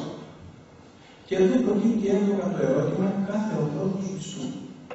Ποιο νόημα έχει η παρουσία της Ορθοδόξου Εκκλησίας στον διεθνή αυτό οργανισμό, ο οποίος αυτοπροσδιορίζεται δογματικά με τρόπο απερίφραστα, που απερίφραστα αμφισβητεί τον ουσιαστικότερο χαρακτήρα της Ορθοδόξου Εκκλησίας ως της μιας Αγίας Καθολικής και Προσωπικής Εκκλησίας. Και επιπροσθέτως απαιτεί την αναγνώριση του εκκλησιαστικού χαρακτήρα όλων των επιμέρους ομολογητών των ομολογιών στο Παγκόσμιο Συμβούλιο των Εκκλησιών. Και τώρα να έρθουμε στους ομολογαθολικούς. Οι ομολογαθολικοί στην δεύτερη σύνοδο του Βατικανού υιοθέτησαν τον ατόμιμο θεολογικά εκκλησιολογικό όρο αδερφές εκκλησίες για τις τοπικές εκκλησίες της Ορθόδοξης Ανατολής. Τον αθεολογητό αυτόν όρο με την απόλυτη και οντολογική έννοια του τον χρησιμοποίησαν ιδιαίτερους και κυρίως για τις Ορθόδοξες εκκλησίες μεταξύ τους και σε κάποιες περιπτώσεις όπως με τον Πάπα παραδείγματος χάρη Παύλο τον Έκτο χρησιμοποιήθηκε και σε σχέση με την Παπική Εκκλησία. Αυτό παράλληλα με τον επίσης αδόκιμο θεολογικά όρο οι δύο πνεύμονες του Χριστού ως πνεύμονες εδώ υπονοούνται ή ορομεκαθολισμός ή ορθοδοξία. Αλλά παρά τις αθεολόγητες αυτές αυρότητες, οι Ρωμαιοκαθολικοί δεν εξίσωσαν ουσιαστικά σε καμία περίπτωση την Ορθοδοξία, την Ορθόδοξη Εκκλησία με τον Ρωμαιοκαθολισμό, όπως θα περίμενε κάποιος ακούγοντας ή διαβάζοντας αυτές τις παραπάνω εξιολογικές διατυπώσεις. Δηλαδή, αδερφές Εκκλησίες και δύο πνεύμονε του Χριστού. Επίσημα πρακτικά κείμενα που αναφέρονται στην Ορθόδοξη Εκκλησία κάνουν λόγο για ελληματική Εκκλησία, εφόσον, για την Ορθοδοξία δηλαδή, εφόσον αυτή δεν αναγνωρίζει τον Πάπα με το πρωτείο και το αγαθητό του. Με άλλα λόγια, για να εδώ το εύλογο ερώτημα του απλού Ορθόδοξου Χριστού. Πώς οι εκπρόσωποι των κατατόπους Ορθοδόξων Εκκλησιών που μετέχουν στον θεολογικό διάλογο με τους Ρωμαιοκαθολικούς υπογράφουν κοινά κείμενα μαζί τους όταν δεν υπάρχει σχεδόν κανένα δόγμα της Εκκλησίας μας που να ταυτίζεται με το αντίστοιχο των Ρωμαιοκαθολικών. Πώς ανέχονται αθεολόγητους όρους που αναφέρονται σε εμάς οντολογικώς και αντίκεινται στην εκκλησιολογικού χαρακτήρα αυτοσυνηθισία μας, δεν αντιλαμβάνονται ότι υιοθετώντας τους παραπάνω αθεολόγητους όρους συμβάλλουν ουσιαστικά σε έναν διακριστιανικό συνηθισμό. Πριν προχωρήσω στα επιμέρους, ήταν σκόπιμο να αναφερθώ σε έναν αυθεντικό ορισμό του οικουμενισμού, τον οποίο μας χάρισε ένας Άγιος του αιώνα μας, ο Άγιος Ιουστίνος Πόπολης, καθηγητής της δογματικής στην Θεολογική Σχολή του Εγκρατείου. Ο οικουμενισμός λέει είναι κοινό όνομα για τους ψευδοχριστιανισμούς, για τις ψευδοεκκλησίες της Δυτικής Ευρώπης. Μέσα του βρίσκεται η καρδιά όλων των ευρωπαϊκών ουμανισμών με, επικεφαλής των καπνισμών. Και όλοι αυτοί οι ψευδοχριστιανισμοί, όλες οι ψευδεκκλησίες δεν είναι τίποτε άλλο παρά μία αίρεση παραβλέπως σε άλλη αίρεση. Το κοινό ευαγγελικό όνομα τους είναι η πανέρεση. Με βάση τις προσωπικές και επιστημονικές έρευνές μου στον δυτικό χριστιανισμό και γενικότερα και την γενικότερη προσωπική εμπειρία μου στην ελληνική φύση, προσυπογράφω ανεπιφύλακτα τον παραπάνω ορισμό του ομοτέχνου για τον οποίο σε ενημνώμεθα οι ακαδημαϊκοί θεολόγοι και ιδιαίτερα εμείς οι δογματολόγοι, αφού από τους κόλπους μας προήλθε επιτέλους ένας Άγιος, από την αγιότητα του οποίου όμως πολύ απέχουμε και προσωπικός σεβό. Και να έρθουμε τώρα στους θεολογικούς διαλόγους και στην ονεντότητά τους. Μετά την επίσημη αποκοπή του Ρωμαιοκαθολικού από την Εκκλησία εξαιτίας κυρίως της προσχήψη του Φιλόπουλου στο σύμβολο της Χριστούς που έγινε το 1014 και μέχρι την πτώση της Κωνσταντινούπολης το 1453 έγιναν αρκετοί θεολογικοί διάλογοι. Οι διάλογοι αυτοί απέτυχαν επειδή δεν υπήρξε πνεύμα μετανία στους δυτικού,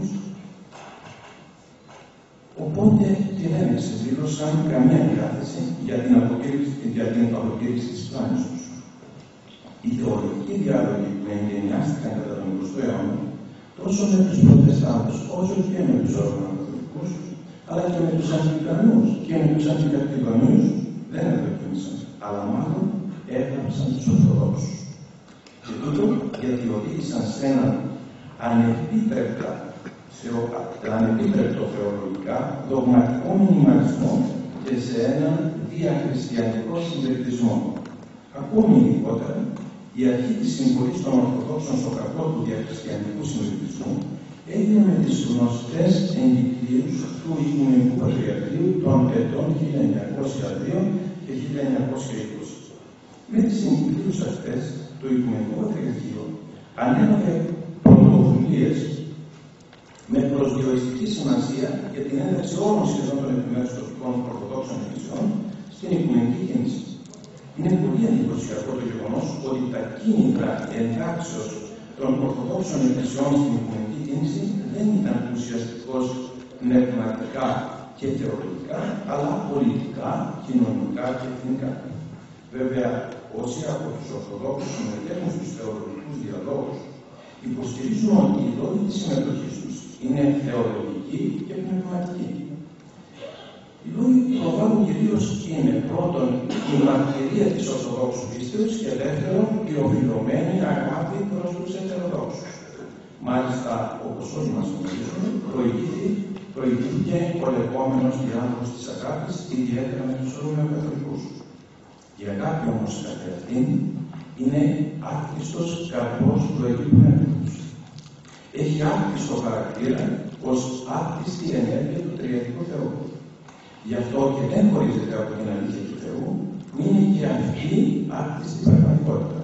Κατά συνέπεια, όταν ο διάλογος της αγάπης δεν συμπάρχει αχωρίστως με τον διάλογο της αληθείας, δεν οδηγεί στην ενότητα της πίστεως, στην ενότητα του πνεύματος που συνεπάγεται τη σωτηρία μας. Στους οικονομικούς διαλόγους επιλέχθηκε να μονομερώσει σκοπίμως η μη σαφώς προσδιοριζομένη αγάπη σε βάρος της θεολογικής αλήθειας η οποία θεωρήθηκε μάλιστα ως ζητούμενη. Πάντως, κατά την τελευταία δεκαετία, ο διμερής θεολογικός διάλογος με τους Ρωμαιοκαθολικούς που εστίαζε στην αναζήτηση της αλήθειας να πάει σε παταγωδόσους. Και τούτο ήταν αναμενόμενο ως φυσικό. Η Ορθόδοξη Εκκλησία δεν πρέπει να αναζητά την αλήθεια γιατί απλώς την έχει και μάλιστα την βιώνει μυστηριακώς.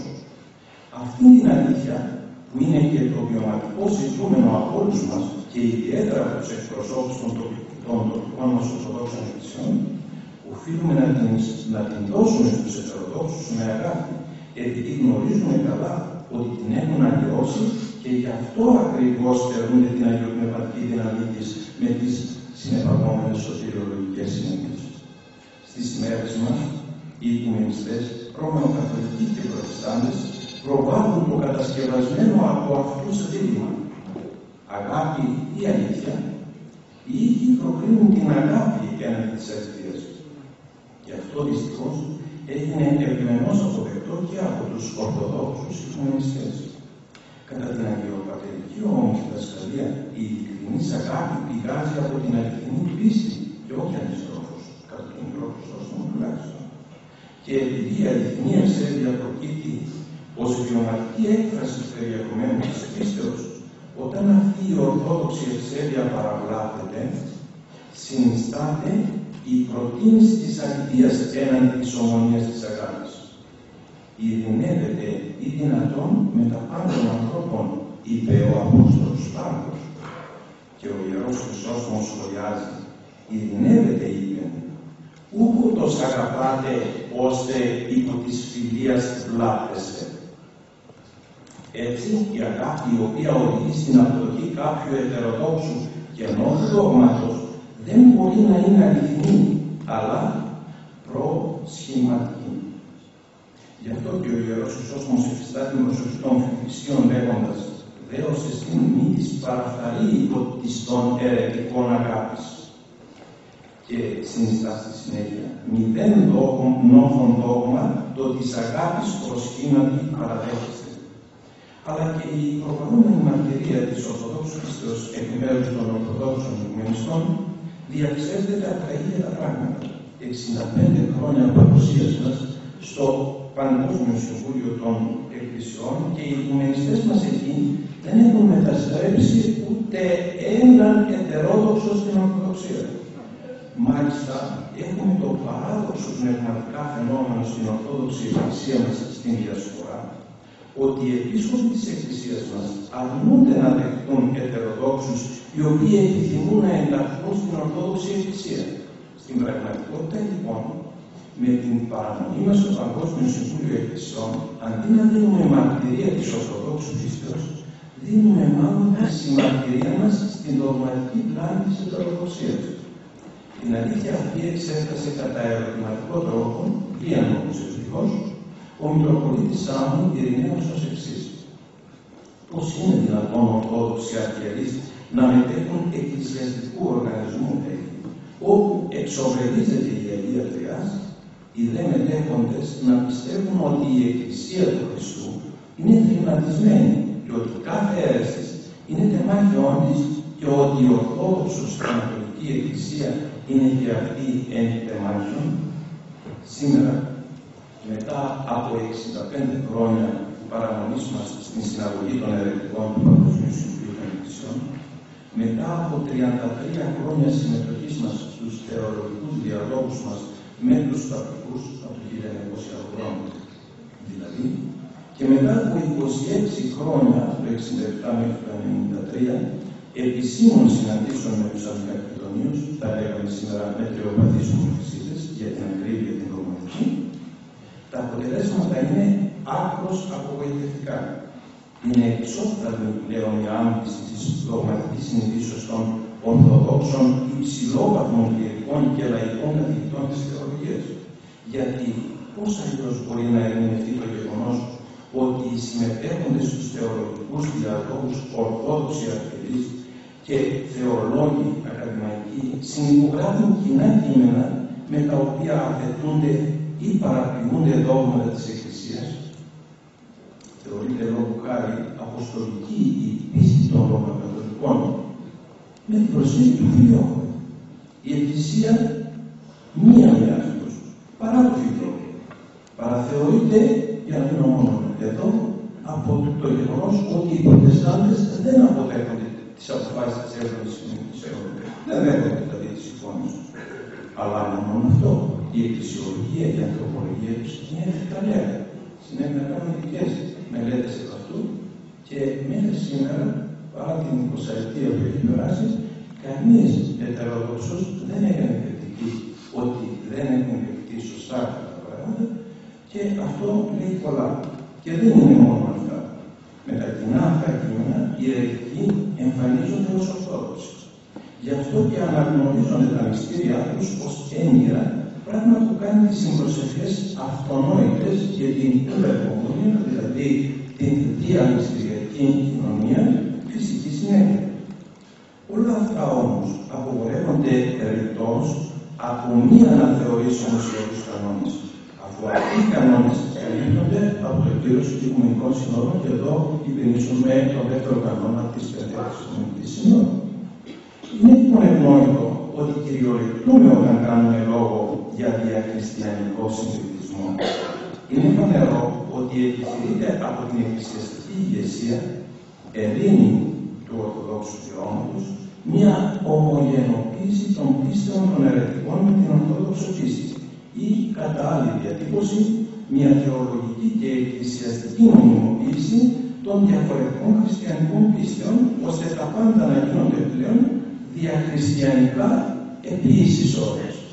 Και το έχουμε και κάποια, δηλαδή τέτοια αμονησία, ο κλέφτης, οι κλέφτες του τον με πρόταση των κλεφτών να συζητούν επί ίσης ώρες και να καμερώνουν οι νοικοκυρέοι. Δηλαδή, με συγχωρείτε για την εκλαΐτευση, αλλά αυτό το πράγμα το έχω εισβάλει στα προσωπικά. Με όσα είπαμε έως εδώ, δεν σημαίνει ότι είμαστε κατά του θεολογικού διαλόγου της Εκκλησίας με τους εξαρτώμενους.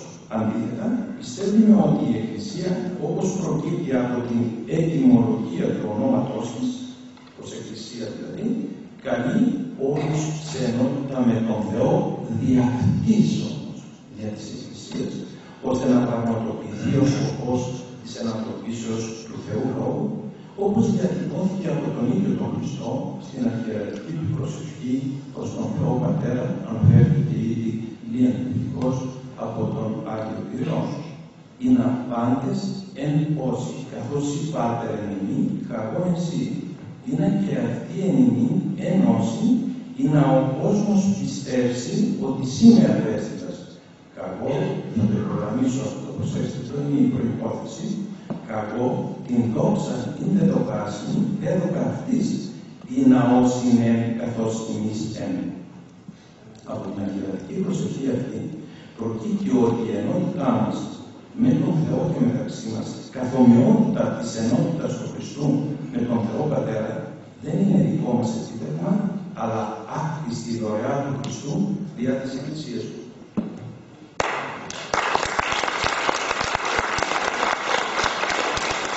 Η ενότητα με τον διαδημότερό μας δεν είναι απροϋπόθετη. Προϋποθέτει την οικείωση εκ μέρους μας της ακτής του Θείας Δόξας που παρέχεται δια του μυστηριακού σώματος του Χριστού, δηλαδή της Εκκλησίας του, μυστηριακός δια του Αγίου Χρησματός μας.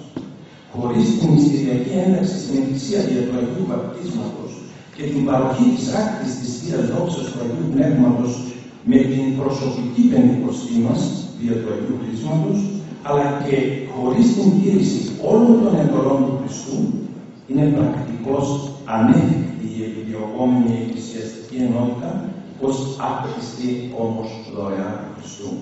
Και όπως η ενότητα των ανθρώπων με τον Θεό και μεταξύ τους δεν είναι αυτοϋπόθετη, έτσι και ο θεολογικός διάλογος για την ενότητα αυτή των χριστιανών ανθρώπων μεταξύ τους δεν είναι αυτοϋπόθετος. Θεμητρότης προϋπόθεσης και αδιαπραγμάτευτος όρος κάθε θεολογικού διαλόγου είναι η αλήθεια της Εκκλησίας, η οποία έχει σωτηριολογικό χαρακτήρα. Η αλήθεια αυτή δεν μπορεί να αναζητείτε, ούτε να συζητείτε. Απλώς ομολογείται με οποιοδήποτε τίμημα, ακόμη και με την ίδια μας την ζωή. Στην αγιοπατευτή παράδοση της Εκκλησίας, ο διάλογος είχε πάντα θεολογικό περιεχόμενο και αφορούσε την περιφρούση της σωτηρίας των πιστών. Την πρωτοβουλία για τον διάλογο αυτόν τον είχε πάντοτε η Εκκλησία και η όποια συζήτηση αφορούσε τις θεολογικές διαφορές που έθεταν σε αμφισβήτηση την πίστη της Εκκλησίας. Αυτό μέχρι τον 20ο αιώνα.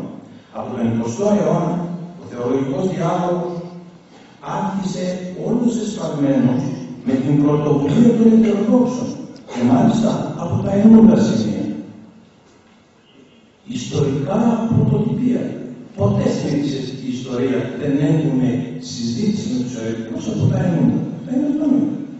Η σημαντικότερη όμως προϋπόθεση για έναν υγιή και αποτελεσματικό θεολογικό διάλογο από ορθόδοξη άποψη είναι η αγιοπνευματική λειτουργία του συνολικού συστήματος της Ορθοδόξου Εκκλησίας σε συνδυασμό όμως με την χαρισματική έκφραση των ενιών Τούτο πρακτικό σημαίνει ότι οι εκπρόσωποι των τοπικών Ορθοδόξων Εκκλησιών για να είναι πραγματικά εκπρόσωποι θα πρέπει να διαβιβάζουν στους, στους διμερείς ή πολυμερείς θεολογικούς διαλόγους με τους ετεροδόξους τις συνολικώς λαμβανόμενες αποφάσεις των τοπικών εκκλησιών τους.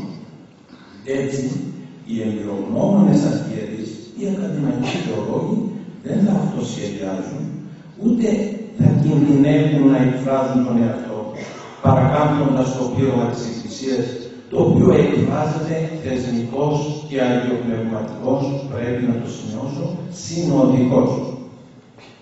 Πέρα όμως από την συνολική κάλυψη των όποιων αποφάσεων του θεολογικού των θεολογικών διαλόγων με τους Ορθόδοξους θα πρέπει να ενημερώνεται το πλήρωμα της Εκκλησίας, επειδή οι αποφάσεις αυτές αφορούν κέρια το περιεχόμενο της πίστεως αλλά και τη ζωή της Εκκλησίας που είναι η προϋπόθεση που διασφαλίζει συγγνώμη, την δογματική ε, την ζωή αυτή με την δογματική διδασκαλία με τα δόγματα. Εξαιτίας του περιορισμένου χρόνου δεν θα αναφερθώ σε άλλες επιμέρους, επιμέρους πτυχές του θέματος μου. Θα πρέπει όμως να πω λίγα και επιγραμματικά για τον διαθρησκιακό συντηρητισμό που άρχισε ήδη να προωθεί συστηματικά ο σύγχρονος μας οικουμενισμός.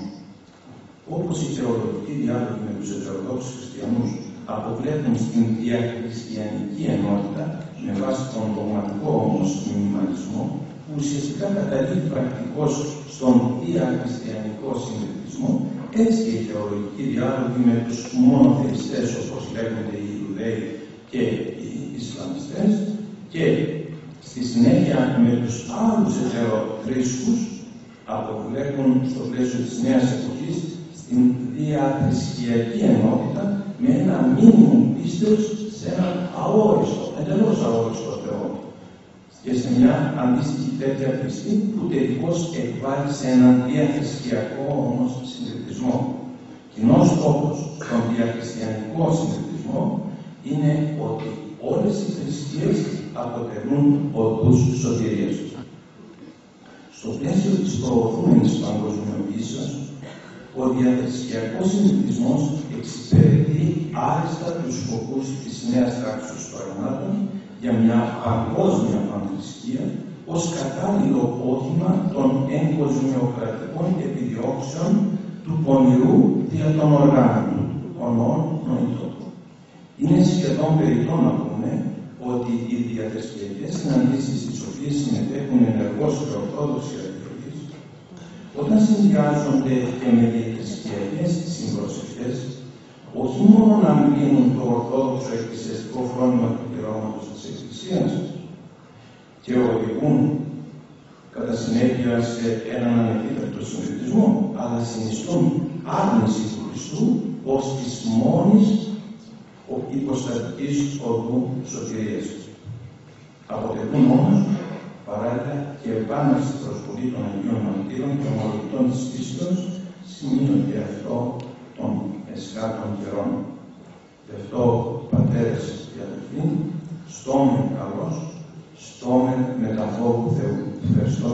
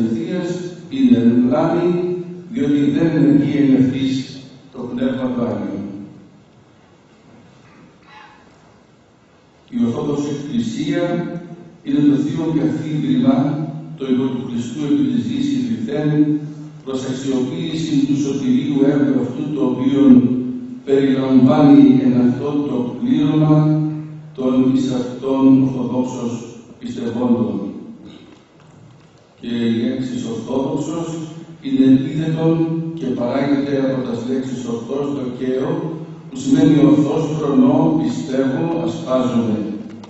Όταν χρησιμοποιείται για την Εκκλησία ή για των πιστών της Εκκλησίας, εμφαίνεται το ίσως στην ορθή πίστη, το ορθό φρόνημα και την ορθή δόξα. Όλοι οι πιστοί, κλήρος και λαός, ζώντες και κοιτημημένοι, αποτελούν την μία Αγία Καθολική και Αποστολική Εκκλησία την οποία ίδρυσε ο Κύριος μας επί της γης δια του παρακλή του Πνεύματος στην ημέρα της Πεντηκοστής. Κατά τον Απόστολο Παύλο, η Εκκλησία είναι εν σώμα με κεφαλή των Χριστών. Ο Χριστός εστί κεφαλή της Εκκλησίας και αυτός εστί σωτή του σώματος. Και εμείς εστέ σώμα Χριστού και μέγια εκπέρους. Άρα η Εκκλησία είναι θεανθρώπινο καθίδρυμα. Η Εκκλησία, όσο ομολογούμενη στο σύμβολο της πίστεώς μας, είναι μία εις μία, Αγία, Καθολική και Αποστολική Εκκλησία, λέγουμε, η οποία είναι το σώμα του Χριστού και των Χριστών και η οποία έχει έναν Κύριο, μία πίστη, ένα βάπτισμα. Δεν υπάρχουν πολλές εκκλησίες. Εκτός της μιας Αγίας Καθολικής και Αποστολικής Εκκλησίας ζώντες, οι εκτός ανήκουν τις αιρέσεις και σχίσματα και αποτελούν τα στρανωμένα χριστιανικά ομολογίας. Είναι εκκλησιολογικό λάθος να δεχόμεθα ότι η ανωτέρω αποβεβλημένη της Βιάς Αγίας Καθολικής και Αποστολικής Εκκλησίας Ερετική Ομολογία είναι Εκκλησία Χριστού. Η Εκκλησία είναι μία πίμνη, πίμνη του Χριστού, με έναν ποιμένα των Χριστών. Η άμελος και αληθινή, η ουράνιος σκηνή μεταξύ των ανθρώπων, η νύμφη του Χριστού, η κυβωτός της σωτηρίας. Η πίστη της Εκκλησίας είναι η παραδοτήσα από τις κεφαλής αυτής, είτε υπό του θεανθρώπου Χριστού και η διατηρηθήσα ανόβητος, αυτούσιος, ανώμευτος διαμέσου των αιώνων μέχρι σημών, χωρίς προστίγας και αφαιρέσεις, χωρίς αγριώσεις και μεταβολάς. Ομολογούμε την Κυριακή της Ορθοδοξίας, οι προφήτες ως σύντον, οι Απόστολοι ως εδίδασαν, η Εκκλησία ως παρέλαβε, οι διδάσκαλοι ως εδογμάτισαν, οι οικουμένοι ως υπερφρόνικεν, η χάρις ως έλαμψεν, η αλήθεια ως αποδέδεικτε, το ψεύδος ως απερίδατε, η σοφία ως επαρεσιάσετο, ο Χριστός ως ευράβευσεν, ούτω φρονούμεν, ούτω ελαλούμεν, ούτω κηρύσσομεν. Η Εκκλησία είναι η μόνη ασφαλής οδός σωτηρίας. Η εικόνα της Αμπέλου ομιλεί πρώτος για την ανάγκη να παραμένουν τα κλίματα επί της Αμπέλου. Εάν μη της μείνει ενεμή, λέγει ο Κύριος, ευλήθη έξω ως το κλίμα και εξηράνθη και συνάδουσιν αυτά και εις βάρος και και καίρεται. Επίσης η εικόνα της κυβωτού σαφώς διδάσκει ότι ουδής σώζεται εκτός της κυβωτού. Κατά τους Αγίους Πατέρας το πνεύμα του Άγιου υπάρχει εν Εκκλησία. Ο Άγιος Κυριναίος τονίζει όπου η Εκκλησία εκεί πάρεσε το πνεύμα του Θεού. Και όπου το πνεύμα του Θεού εκεί πάρεσε την Εκκλησία και η Κυρίου χάρης.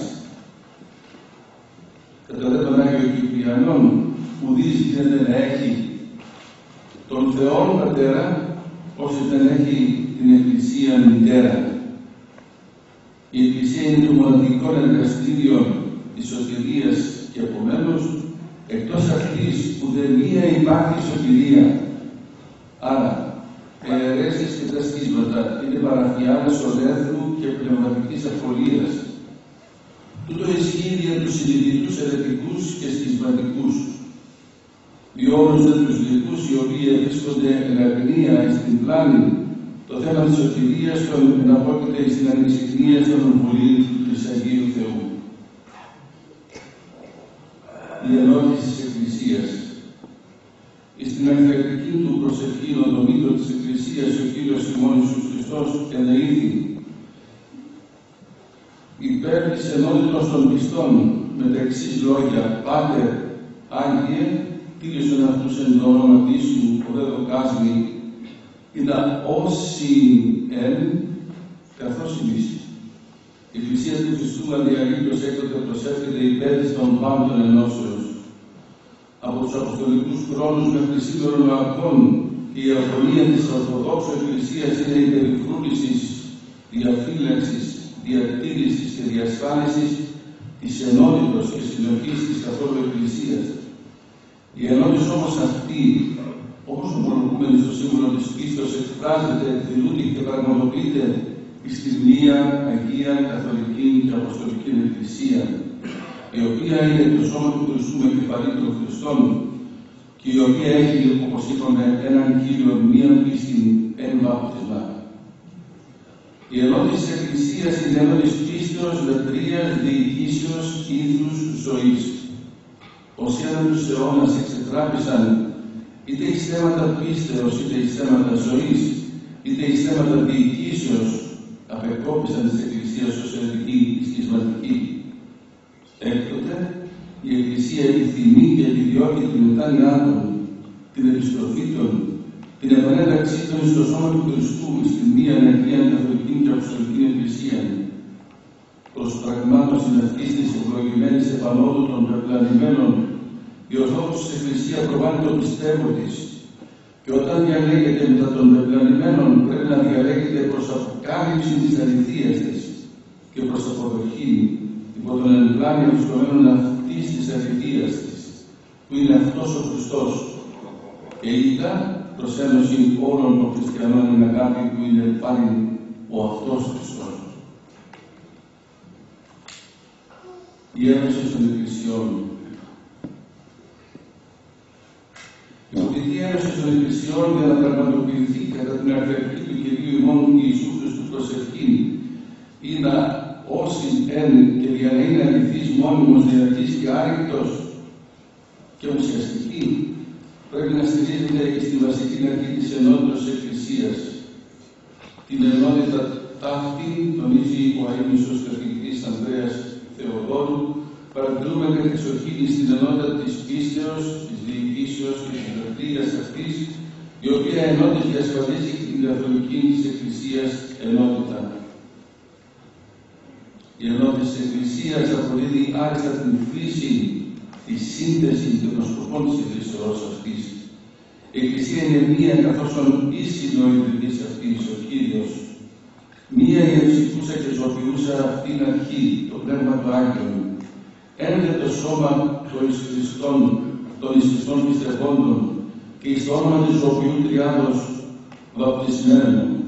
Είναι προφανώς ότι η ενότηση αυτή της Εκκλησίας είναι ενότηση εσωτέρα, οργανική, ως οργανισμός η Εκκλησία, μία μόνο και δύναται να έχει και ένα σώμα συναυτωμένων χριστιανών της μυστικής πνευματικής ενότητα. Την είδηση άλλωστε μιας μόνης Εκκλησίας ήθελε αυτός ούτως ο Σωτήρ, ο οποίος δεν ίδρυσε πολλάς εκκλησίας παραλλήλως ισταμένας εν τον κόσμο του τόπερ καθίστα, όχι μόνο προβλημα, προβληματική, αλλά και αδύνατον την ενέργεια του σωτηρίου έργου του Χριστού. Τούτο η Αγία Γραφή υποδηλούσα παριστά την Εκκλησία ενός μία πήγαινη που έναν ποιμένα τελούσαν. Ως μίαν άτομο του Χριστού νύχτη, όπως χαρακτηριστικά τονίζει ο Αίμνησος καθηγητής Θεοδόρου.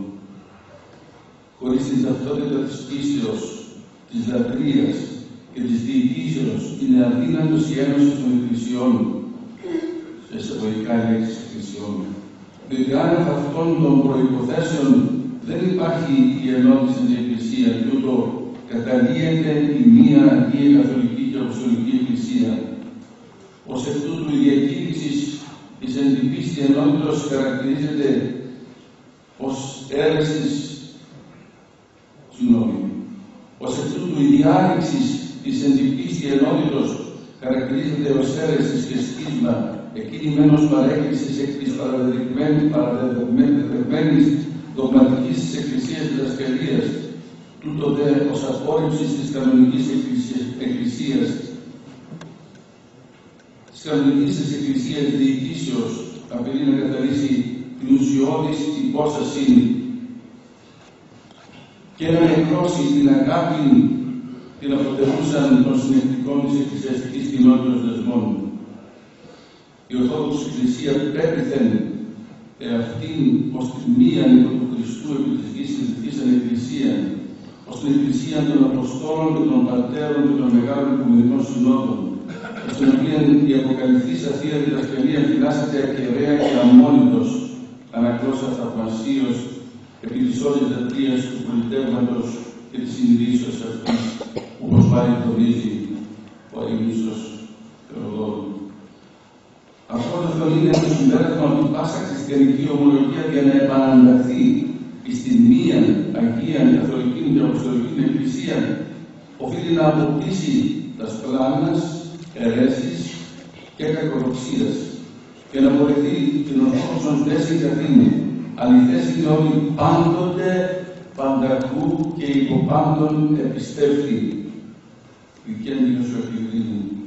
Επειδή κάνετε τούτο εφόσον από κοινού η χριστιανική ομολογία αποδεχθώσει το πιστεύω της επί οκτώ αιώνας αντιερέτου Εκκλησίας αφαιρούντες τα προστίκας και προσθέτοντες τα αφαιρέσεις έτρες αφαιρέτως εγκαίνοντο κατά της αληθείας, της λατρείας και διοικήσεως της αρχαιγόνου μιας του Χριστού Εκκλησίας. Η Εκκλησία δια των συνόδων του στόμα Χριστού.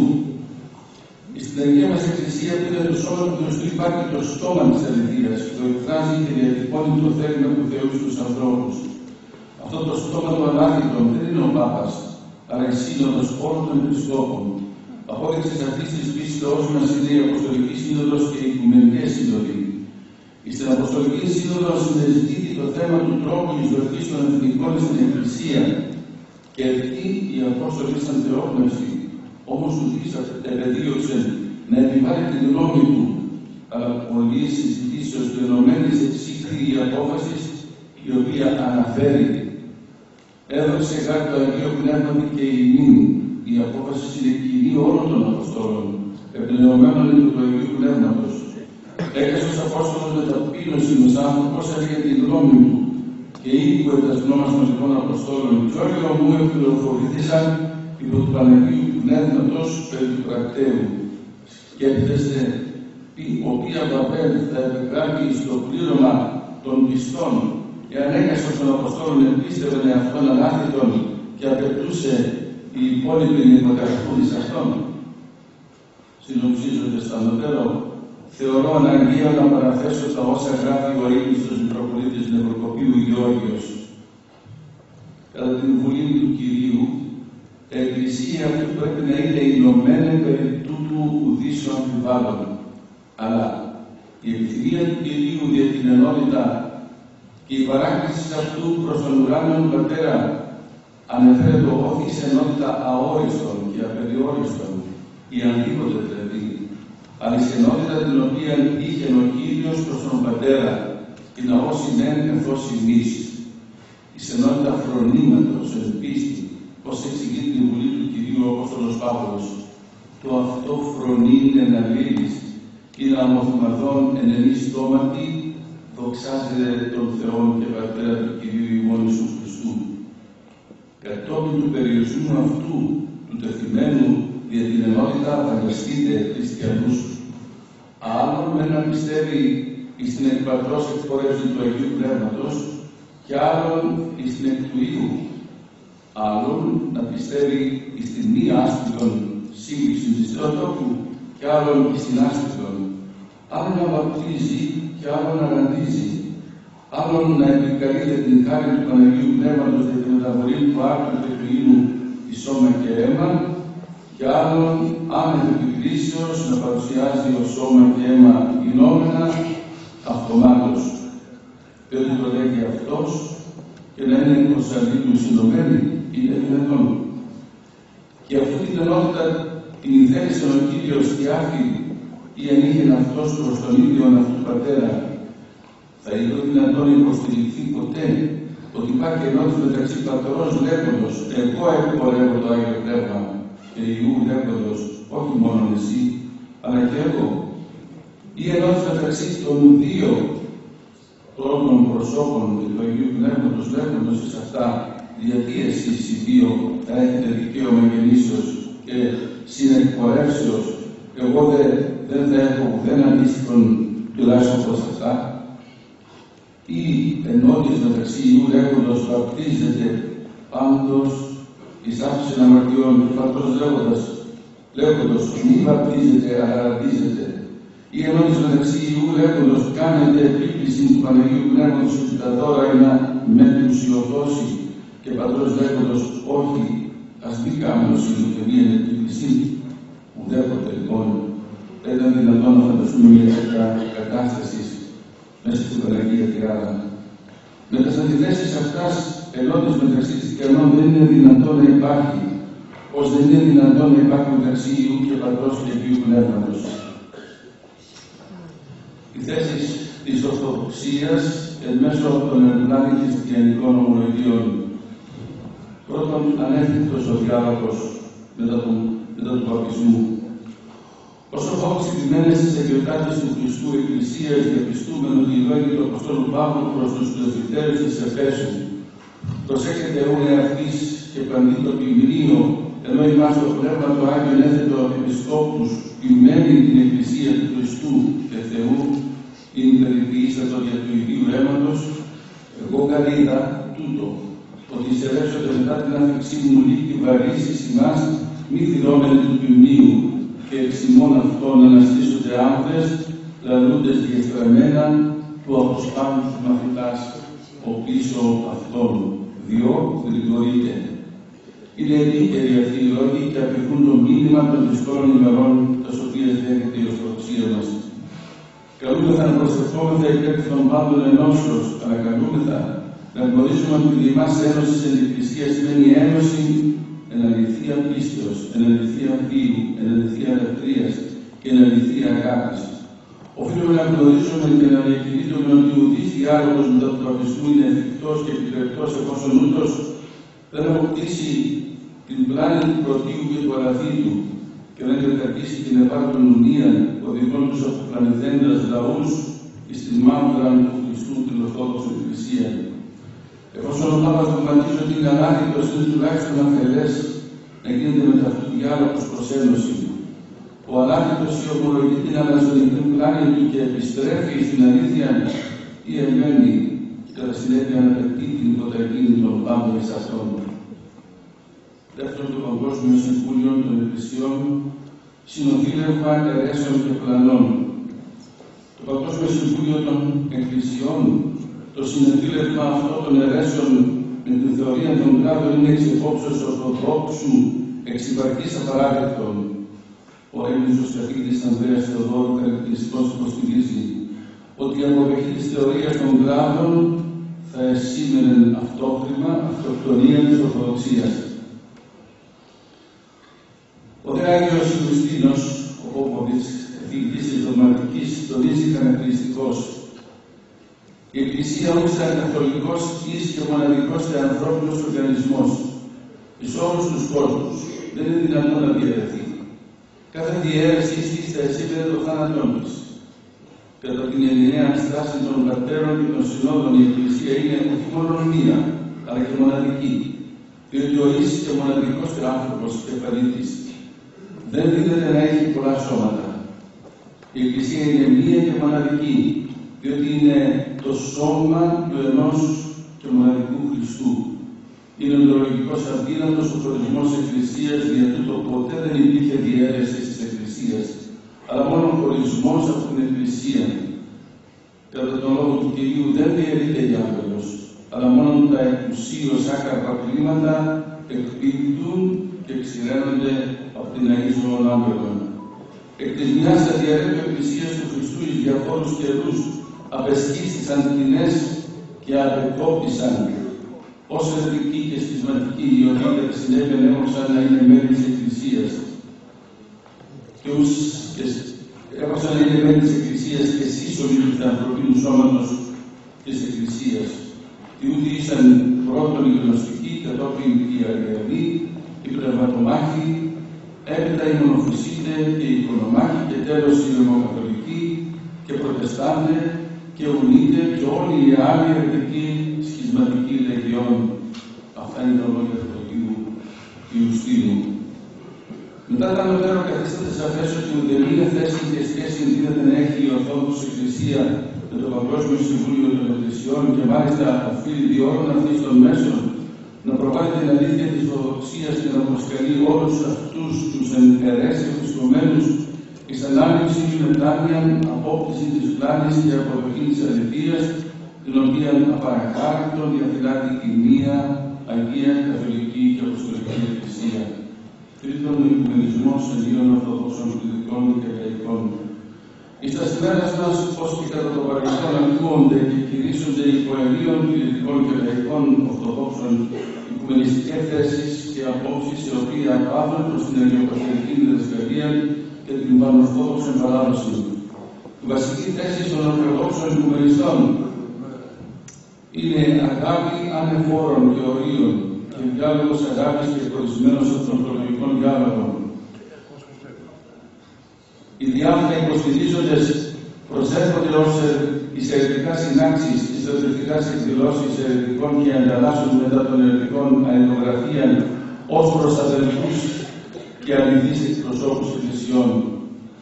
Οι ανωτέρω ορθόδοξοι κομμουνιστέ βρίσκονται εκτός της αληθείας και το μόνο το οποίο δίνεται να επιτύχουν είναι να αφομοιωθούν υπό των ερετικών ήλικοι να διαιρέσουν τους Ορθοδόξους.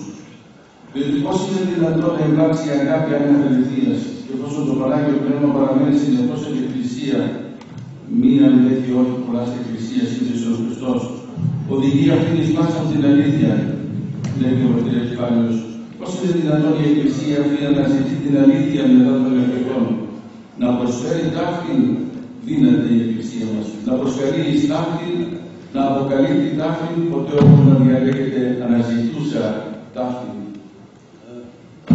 Οι Ιεροί κανόνες και οι Άγιοι Πατέρες και κατεξοχήν η Ιερή Γραφή ενδιαφέρονται να θεωρούμε αναθυματισμένους τους αιρετικούς. Ο Απόστολος Παύλος γράφει χαρακτηριστικός στους Γαλάτας. Εάν εμείς οι Άγιος εξ ουρανού ευαγγελίζεται εκείνη παρό ευαγγελισάμεθα εμείς, ανάθεμα έστω. Επίσης οφείλουμε να μην έχουμε καθόλου επικοινωνία όσο απορρεύει ο μαθητής της αγάπης ο Άγιος Ιωάννης ο Θεολόγος ή της έρχεται προς εμάς και ταύτη την διδαχή που φέρει, μη λαμβάνετε αυτόν ησυχία και χέρι αυτό μη λέγεται σεβασμιότατη, σεβαστή πατέρας, αγαπητοί αδελφοί, εφόσον εξ όσων ανωτέρω ανεφέρθη να δυνάμει συμπερασματικός να τονίσουμε. Ο Χριστός είναι εις και μοναδικός, διότι η Εκκλησία του είναι μία και μοναδική. Η Ορθόδοξη Εκκλησία είναι μία Αγία Καθολική και Αποστολική Εκκλησία. Είναι οικουμενική, όχι όμως οικουμενιστική. Οι αιρετικοί δεν ανήκουν στην Εκκλησία και, είναι, και δεν είναι Εκκλησία. Η παπική υποδομαντία του διαλόγου και υπό την διακήρυξη της ενώσεως κρύπτουν την σταθερά μεσχωρική των πρόθεση και θέση της υποδοχής των πάντων στον αλάτι των Πάπα. Ο προτεσταντικός οικουμενισμός αρνείται την αυθεντία και παράδειγμα της μιας Αγίας Καθολικής Αποστολικής Εκκλησίας και δια της θεωρίας των κράτων αποδέχεται την πασπερμία των αιρέσεων και των ουδανών τοποθετούμενος ούτως εκτός του ενός του μοναδικού σώματος του Χριστού της Εκκλησίας.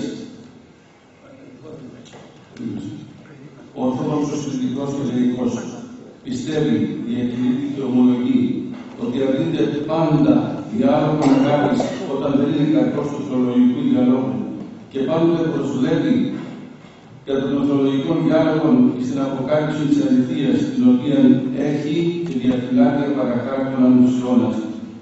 Επίσης αρνείται πάσα μορφή του οικουμενισμού.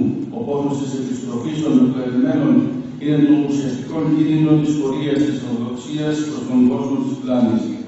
Αυτή πρέπει να είναι η θέση της Ορθοδόξου και της Εκκλησίας και της Ορθοδοξίας μέσω των ευλάνων της καλλιτικών ομολογιών. Να μου επιτρέψετε να σας διαβάσω ένα μεγαλύτερο που έφτιαξα με τη βοήθεια του Θεού για την Ορθοδοξία. Η Ορθοδοξία κρίνει ζωής, πηγή αληθείας, και σοφίας της εν Χριστώ. Σώμα του Κυρίου, οδός της σωτηρίας, η μία και η Αγία και Θεοίδητος. Ευχαριστώ.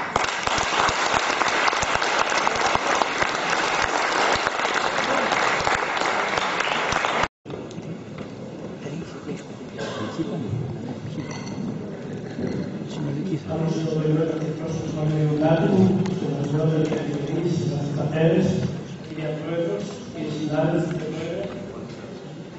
Είμαι στη Σάρη, στη θέση να είμαι τελευταίο. Έχω την υποψία ότι θα θέλατε δεν τελειώσω γρήγορα, δεν μιλήσω και καθόλου.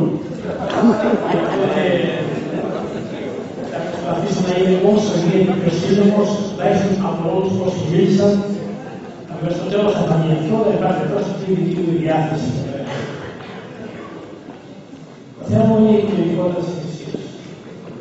Το πρώτο που θα σα πω είναι ότι ο λόγο περί καθολικότητα δεν είναι λόγο ενό Θεού θεολόγου, αλλά είναι θεμελιώδη αρχή τη Ορθόδοξη Θεολογία. Αυτό είναι το ένα θέμα, το εισαγωγικά. Το δεύτερο είναι ότι οι δύο όροι, η καθολικότητα και η οικουμενικότητα, εναλλάσσονται. Πρέπει να σημειώσουμε ωστόσο ότι ο όρο καθολικότητα είναι περιεκτικότερο, ενώ ο όρο οικουμενικότητα είναι, θα έλεγα, υποδιέστερο με την έννοια ότι αφορά μάλλον και περισσότερο τη γεωγραφική καθολικότητα της Εκκλησίας. Παραδείγματο χάρη, η διαχρονικότητα ω χαρακτηριστικό της καθολικότητας δεν εκφράζεται μέσα από τον όρο οικουμενικότητα και επικαλούμε εδώ τον λόγο του Σώμου όταν έλεγε ότι η Εκκλησία είναι πανταχού της οικουμένης, πανταχού των αιώνων, πανταχού των χρόνων, εκτέταται. Η Εκκλησία είναι όλη και πάντοτε, καθώς γράφει και ο Ιωάννης ο Δαμασχημό. Το τρίτο εισαγωγικό σημείο που θέλω να σα πω είναι ότι η καθολικότητα αποτελεί αναγκαίο συστατικό της Εκκλησίας. Κανένας από τους άλλους τρεις όρους, τι τρεις ιδιότητες τις οποίες γνωρίζετε, δεν μπορεί να σταθεί χωρίς την καθολικότητα. Το ίδιο συμβαίνει με τον καθένα από αυτούς χωρίς τους άλλους τρεις. Επομένως, εάν η Εκκλησία δεν είναι καθολική, δεν είναι ούτε μία, ούτε αγία, ούτε αποστολική. Ορίστε. Τώρα, γιατί η Εκκλησία, να ένα τελευταίο που σα ενδιαφέρει ενδεχομένω, γιατί η Εκκλησία της Ρώμης, ο καθολισμό, έχει το στοιχείο μέσα της καθολικότητας. Ονομάζεται καθολικισμός ουσιαστικά. Έτσι εμφαίνεται στην βιβλιογραφία. Θα σας πω ότι ο είναι ο πιο ιδανικό όρο για να εκφράσει η Εκκλησία της Ρώμης μέσα εισαγωγικά ή εκτός εισαγωγικών. Ε, αυτό είναι υπόθεση των παρτολόγων εμά και εκτός από ό,τι μοιάζει και τα πράγματα, χωρίς να αγνοούμε τον Θεό για την πιο ιδιότητα. Ε, ο όρος καθολικός πάντως, επειδή εκφράζει τη γεωγραφικότητα, είναι ο πιο ιδανικός όρος για να εκφράσει αυτό που ακριβώς επιζητεί η Ρωμακαθολική Εκκλησία, κυρίως την προσωπική ενδυνάμωση της θέσης και του ρόλου σε παγκόσμιο επίπεδο. Αυτά είναι πολύ εισαγωγικά και πάμε κατευθείαν στο ερώτημα γιατί η Εκκλησία είναι καθολική.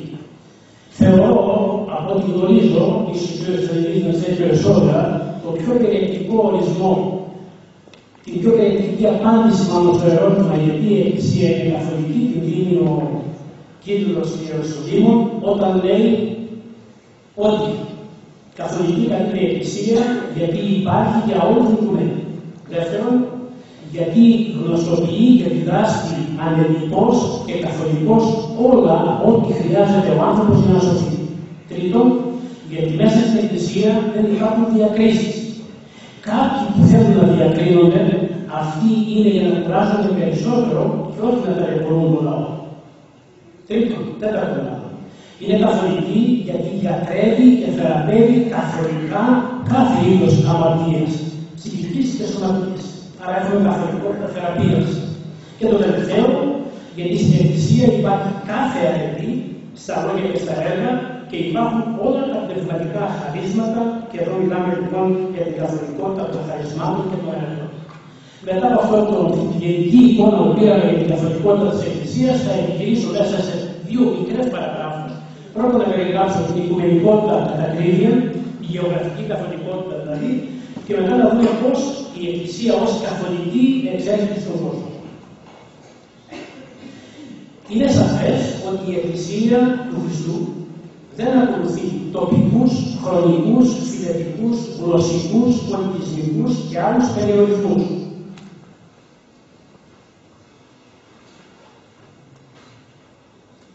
Αυτό σημαίνει ότι η Εκκλησία περιλαμβάνει όλους τους ανθρώπους όλων των εποχών, παρελθόντος, παρελθόντος και μέλλοντος, είτε εν δυνάμει είτε εν ενεργεία. Γι' αυτό το λόγο και χαρακτηρίζεται ως πάντουμος ή πάνεθνος ή ως οικουμενικός αμερώνας.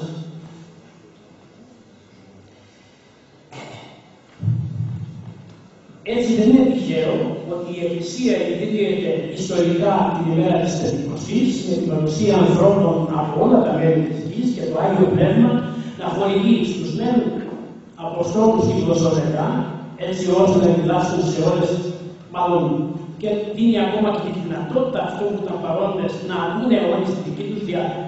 Είναι χαρακτηριστικό παράδειγμα της, της ιστορικής έκφρασης της μερικότητας. Το κοσμικό μήνυμα της καθολικότητας δίδεται με το διάταγμα του Αυγούστου. Τέσσερος, να απογραφεί ολόκληρη οικουμένη την εποχή ακριβώς που σαρκώνεται ο Θεός Λόγος, καταργώντας την πολυθερία των ειδών και ενοποιώντας θρησκευτικά τη γνωστή οικουμένη. Μια οικουμένη που δημιούργησε η Ρώμη για να διευκολύνει χωρίς να το θέλει, όπως και η ελληνιστική εποχή με την καθολικότητα της γλώσσας θα έλεγα, και αυτή ενδεχομένως χωρίς να το θέλει, ανοίγοντας τη δυνατότητα στον χριστιανισμό, στον καθολικότητα του χριστιανισμού, στο άνοιγμα του χριστιανισμού στην οικουμένη και τον απεγκλωβισμό του Θεού από τα στενά όρια του Ιουδαϊκού κόσμου.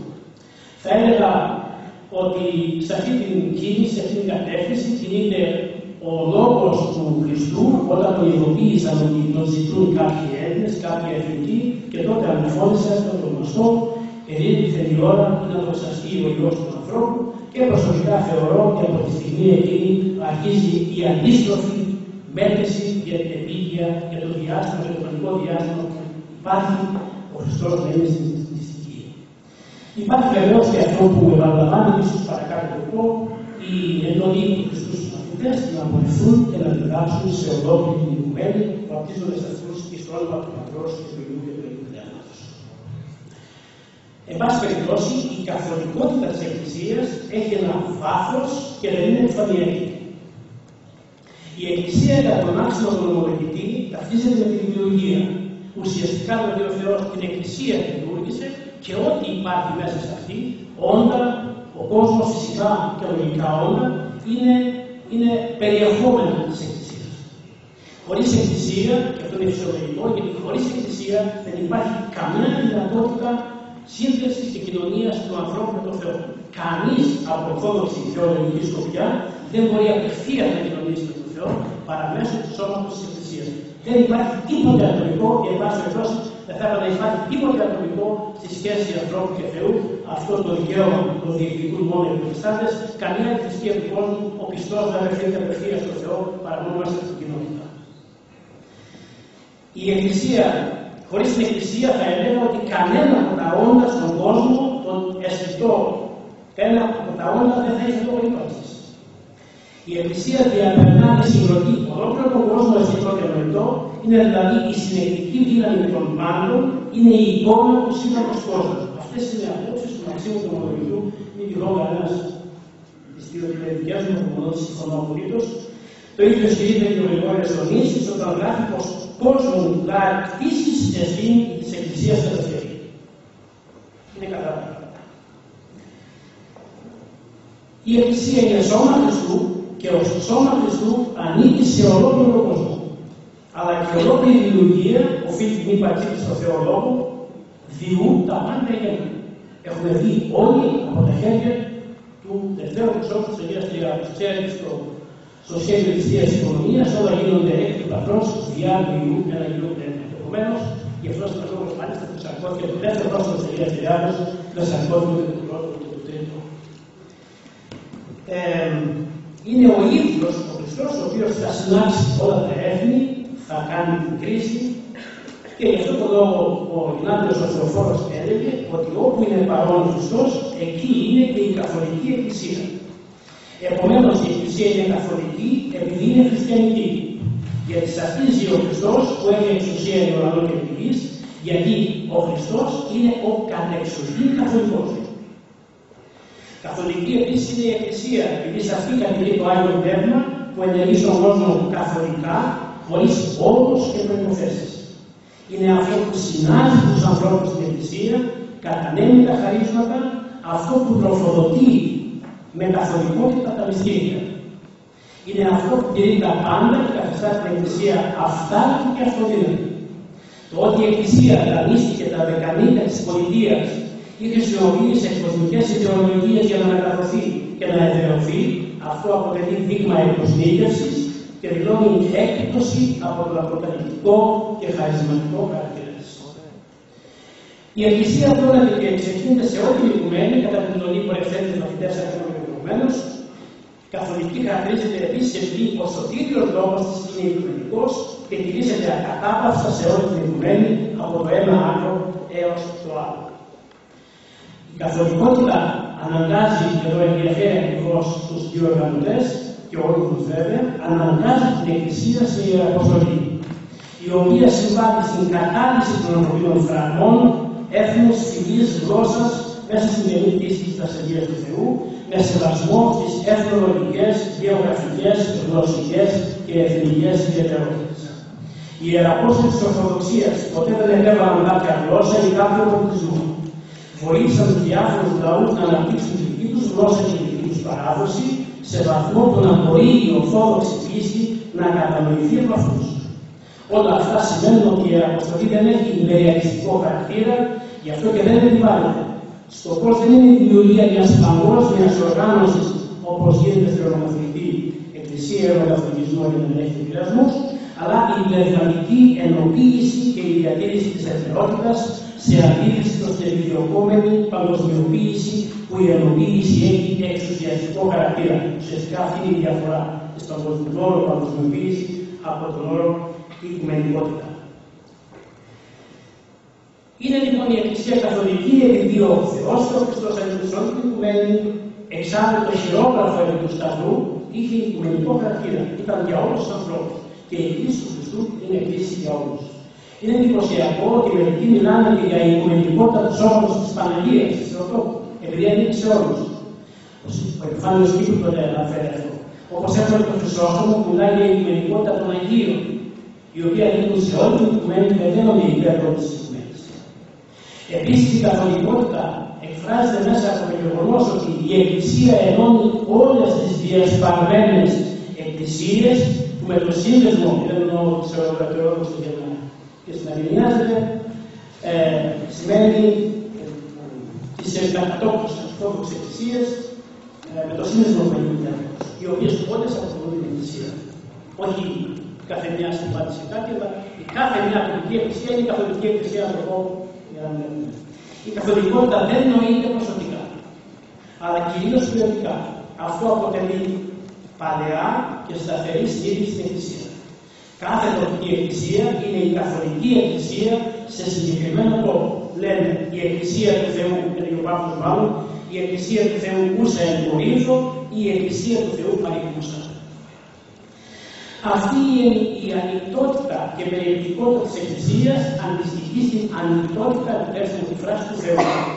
Ο Θεός της Εκκλησίας δεν δεσμεύεται ούτε και περιορίζεται από εθνικές συμβάσεις όπως συνέβαινε με το Θεό της Συναγωγής ή όπως τον θέλουν εθνικιστικά κινήματα. Φράσεις όπως ο Θεός του Ισραήλ ή ο Θεός των Ελλήνων είναι εθνικά αποδεκτές και επιθυμητές, αλλά θεολογικά παράδειγμα. Όταν έγιναν αποδεκτές, τότε είχαμε το φαινόμενο του εκκλησιαστικού εθνοφιλετισμού που έγραψε την υπόθεση του χριστιανισμού. Ο Χριστό δεν σαρκώθηκε για να υπηρετήσει συγκεκριμένες εθνικές ιδεολογίες. Η ιδιαίτερη σχέση που αναπτύχθηκε μεταξύ χριστιανισμού και ελληνισμού δεν επιτρέπει σε κανέναν να ταυτίζει τα δύο και να θεωρεί ως απαραίτητη προπόθεση ένταξης στην Εκκλησία και σωτηρία βέβαια την απόκτηση της εθνικής ταυτότητας. Ο Χριστός ήταν πάντοτε ξένος και άπατρης. Κάθε προσπάθεια εθνικής υλοποίησή τους είναι εκτός των άλλων και βλάσιμη, γιατί απλούστατα ο Χριστός είναι για όλους. Αναμφισβήτητα υπάρχουν κάποιοι και στον χώρο μας που στενοχωρούνται ή και παρεξηγούνται με την οικουμενικότητα της Εκκλησίας, όπως ακριβώς έκανε ο Ιωνάς, όπως ξέρετε, που έκανε ό,τι μπορούσε να πείσει το Θεό να μην είναι Θεός και των απογενών, όλες δηλαδή τις οικουμένε, αλλά και που ήταν και που όταν τελικά υποχώρησε ο Ιωνάς και αποδέχτηκε να κηρύξει την Ενεδή και να σωθεί, ήταν τόσο περίπλοκος που ο Χριστός του μια ακολουθιά για να τον συνεφέρει. Την ίδια σύγκρουση μεταξύ οικουμενικότητα και αποκλειστικότητα διαπιστώνουμε στα πρώτα χρόνια του χριστιανισμού στην περίπτωση της σύγκρουσης Πέτρου και Παύλου. Γι' αυτό και η Απόστολη είναι αναλάβει. Ο Μέν Πέτρος επιμένει ότι η βασική προπόθεση ένταξης εθνικών στην Εκκλησία είναι η τήρηση των Ιουδαϊκών θρησκευτικών τυπικών. Ο Πάπο λέει υπογραμμίζει την οικουμενικότητα της Εκκλησίας. Είναι ο ίδιος άλλωστε που επισημαίνει ότι δεν υπάρχει Ιουδαίο και Έλληνε και ότι όλοι είναι ένας σώμα στο όνομα του Ιησού Χριστού. Υπήρξε σφοδρή σύγκρουση μεταξύ των δύο πλευρών, γι' αυτό και βλέπετε οι εικόνες που είναι σφιστά αναγνωσμένοι, είναι ενδεικτικό ότι προηγήθηκε και υπερίσχυε η ελευθερία του Χριστού που δεν ανέχεται τυπολατρίε και νομιμισμούς, αλλά αφήνει ανοιχτό τον δρόμο ενσωμάτωσης όλων στο σώμα της Εκκλησίας. Το ίδιο πρόβλημα έφερε και προηγουμένω με τον εθνοφιλετισμό και πάμε τώρα στο δεύτερο παράγραφο που σας είπα, που θα πάρουμε σύντομη. Τι μήνυμα περνά η καθολική, η ορθόδοξη εκκλησία ως καθολική εκκλησία προς τα έξω. Το πρώτο είναι ότι της καθολικής συμμετοχή. Στην εκκλησία υπάρχουν τα άλλα και οι πάντε. Μετέχουν ο Χριστός ως κεφαλή, ο νοητός κόσμος των αγγέλων, οι άνθρωποι ως μέλη του σώματος αλλά και η κρίση. Η Εκκλησία εικονίζει έτσι, καθώ λέγεται, το πρώτο παράδεισος. Ο παράδεισος δεν είναι τυχαίο ότι κατά τον άξιο χρονολογητή ο παράδεισος συνιστά την πρώτη φάση της Εκκλησίας. Πρόκειται για την Εκκλησία των Πρωτοτόπων, καθώς έλεγε. Όλοι έχουν δικαίωμα να είναι μέλη της, όλοι ανήκουν εν δυνάμει, όλοι είναι ισότιμα μέλη, μερικοί έχουν παραπάνω ευθύνε. Υπάρχει καθολικότητα της σωτηρίας. Η καθολικότητα της σωτηρίας ακριβώς είναι το επόμενο στάδιο της καθολικότητας της αμαρτίας. Όπως δεν υπάρχει κανείς ο οποίος δεν αμαρτάνει, έτσι κανείς δεν αποκλείεται από το σχέδιο της σωτηρίας. Και κανένα εμπόδιο δεν υπάρχει ο μέρος του Θεού, το θέμα αυτό έχει λυθεί, γιατί η σωτηρία είναι δωρεά, αναπόκειται σε εμάς και αν την κάνουμε απολύτω.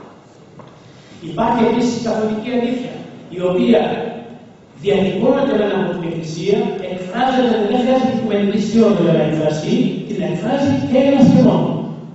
Η διατύπωση είναι σε αυτή η υπόθεση, η έκφρασή της είναι αυτοδόνια ότι μπορεί να εκφράζεται έστω και από ένα προστασία. Εννοείται ότι η αίρεση είναι καταστροφική, καταστρέφει αυτή την αλήθεια, γιατί απλούστατα διαστρέφει το πρόσωπο του Χριστού. Και εγώ επειδή δεν έχω μάθει να κάνω διαχωρισμούς, πολύ ωραία, θεσμικά μπορούμε να δούμε και τις διαστροφές στη Δύση, αλλά μπορώ να σας αν με ρωτήσετε μετά αν υπάρχει χρόνος και εικόνες, θα σας πω ότι τίποτε, καμιά καποδοξία η οποία υπάρχει στη Δύση δυστυχώς δεν απουσιάζει την Ανατολή, αλλά σε καθαρά πρακτικό επίπεδο. Καμία. Δεν απουσιάζει, αυτό είναι ένα δυστύχημα, διότι η Ορθόδοξη Εκκλησία δεν είναι μόνο η Ορθόδοξη Θεολογία και ο Ορθόδοξος λόγος, είναι η Ορθόδοξη πράξη. Και το δόγμα πάνω από τον Ορθόδοξο δοκιμάζεται αν είναι Ορθόδοξο από την Ορθόδοξη πράξη. Όπως και η πράξη δοκιμάζεται αν είναι Ορθόδοξη και αν το δόγμα είναι Ορθόδοξο. Γι' αυτό και όσα εγκλήματα έχουν γίνει στο όνομα του Θεού έγιναν μερικοί παραγράφηκαν, αλλοιώθηκαν, καταδοχούν κατ' εικόνα των Όσο διατηρήθηκαν οι στήλε της Εκκλησίας, εικόνα του Κύριου στον καθόν κλπ.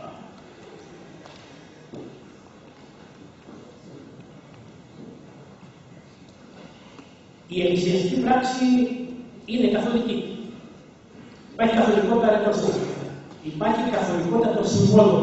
Όποια να πάτε, υπάρχει το σύνολο του Θεού. Εγώ που υπάρχει αυτό το εκκλησίας, δηλαδή το σύνολο του το, σύνολο του Θεού. Νοείται και έτσι, αλλά και, και ακριβώς έτσι σχηματίζεται. Υπάρχει καθολικότητα της Αγία Γραφή για όλου. Υπάρχει καθολικότητα της δωρεάς του Θεού.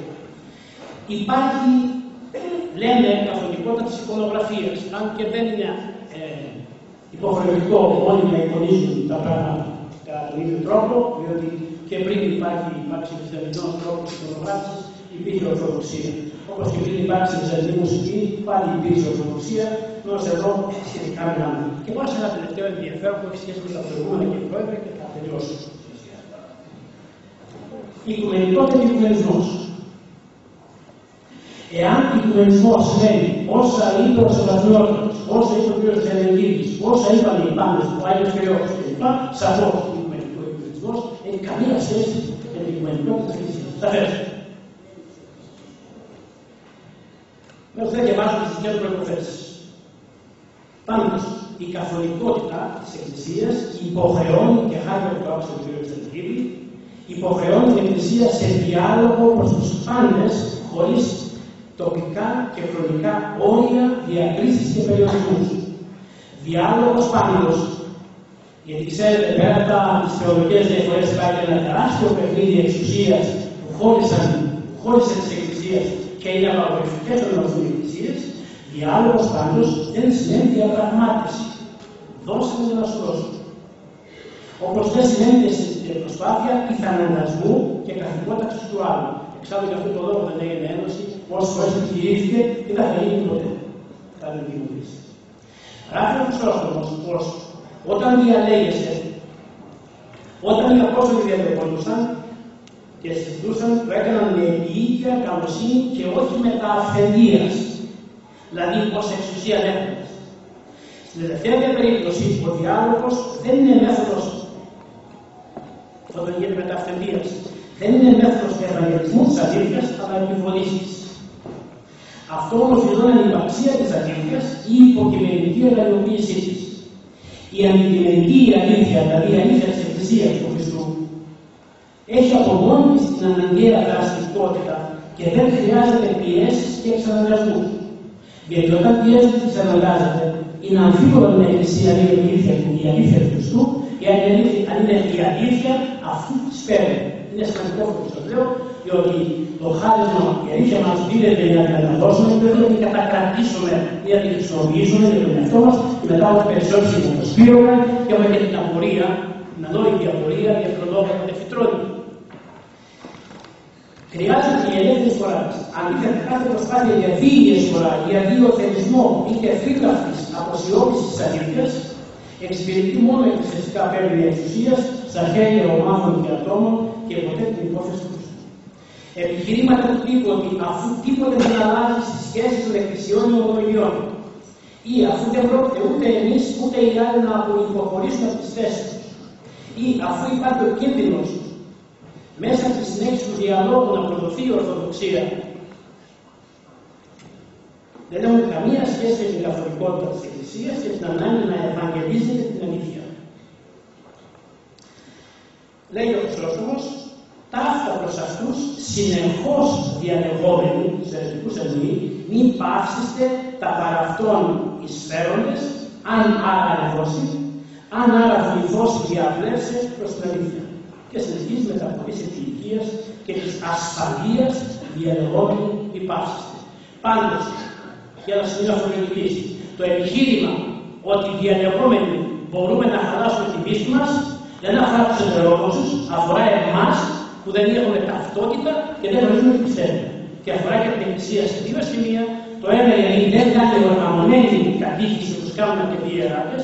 Και το δεύτερο είναι ότι μόνο που μετέχει στην οικουμενική κίνηση δεν έχει εκδώσει μέχρι τώρα ούτε μία φορά ένα ενημερωτικό σημείωμα στον λαό που να του λέει ακριβώ τι κάνει και τι το διάλογο.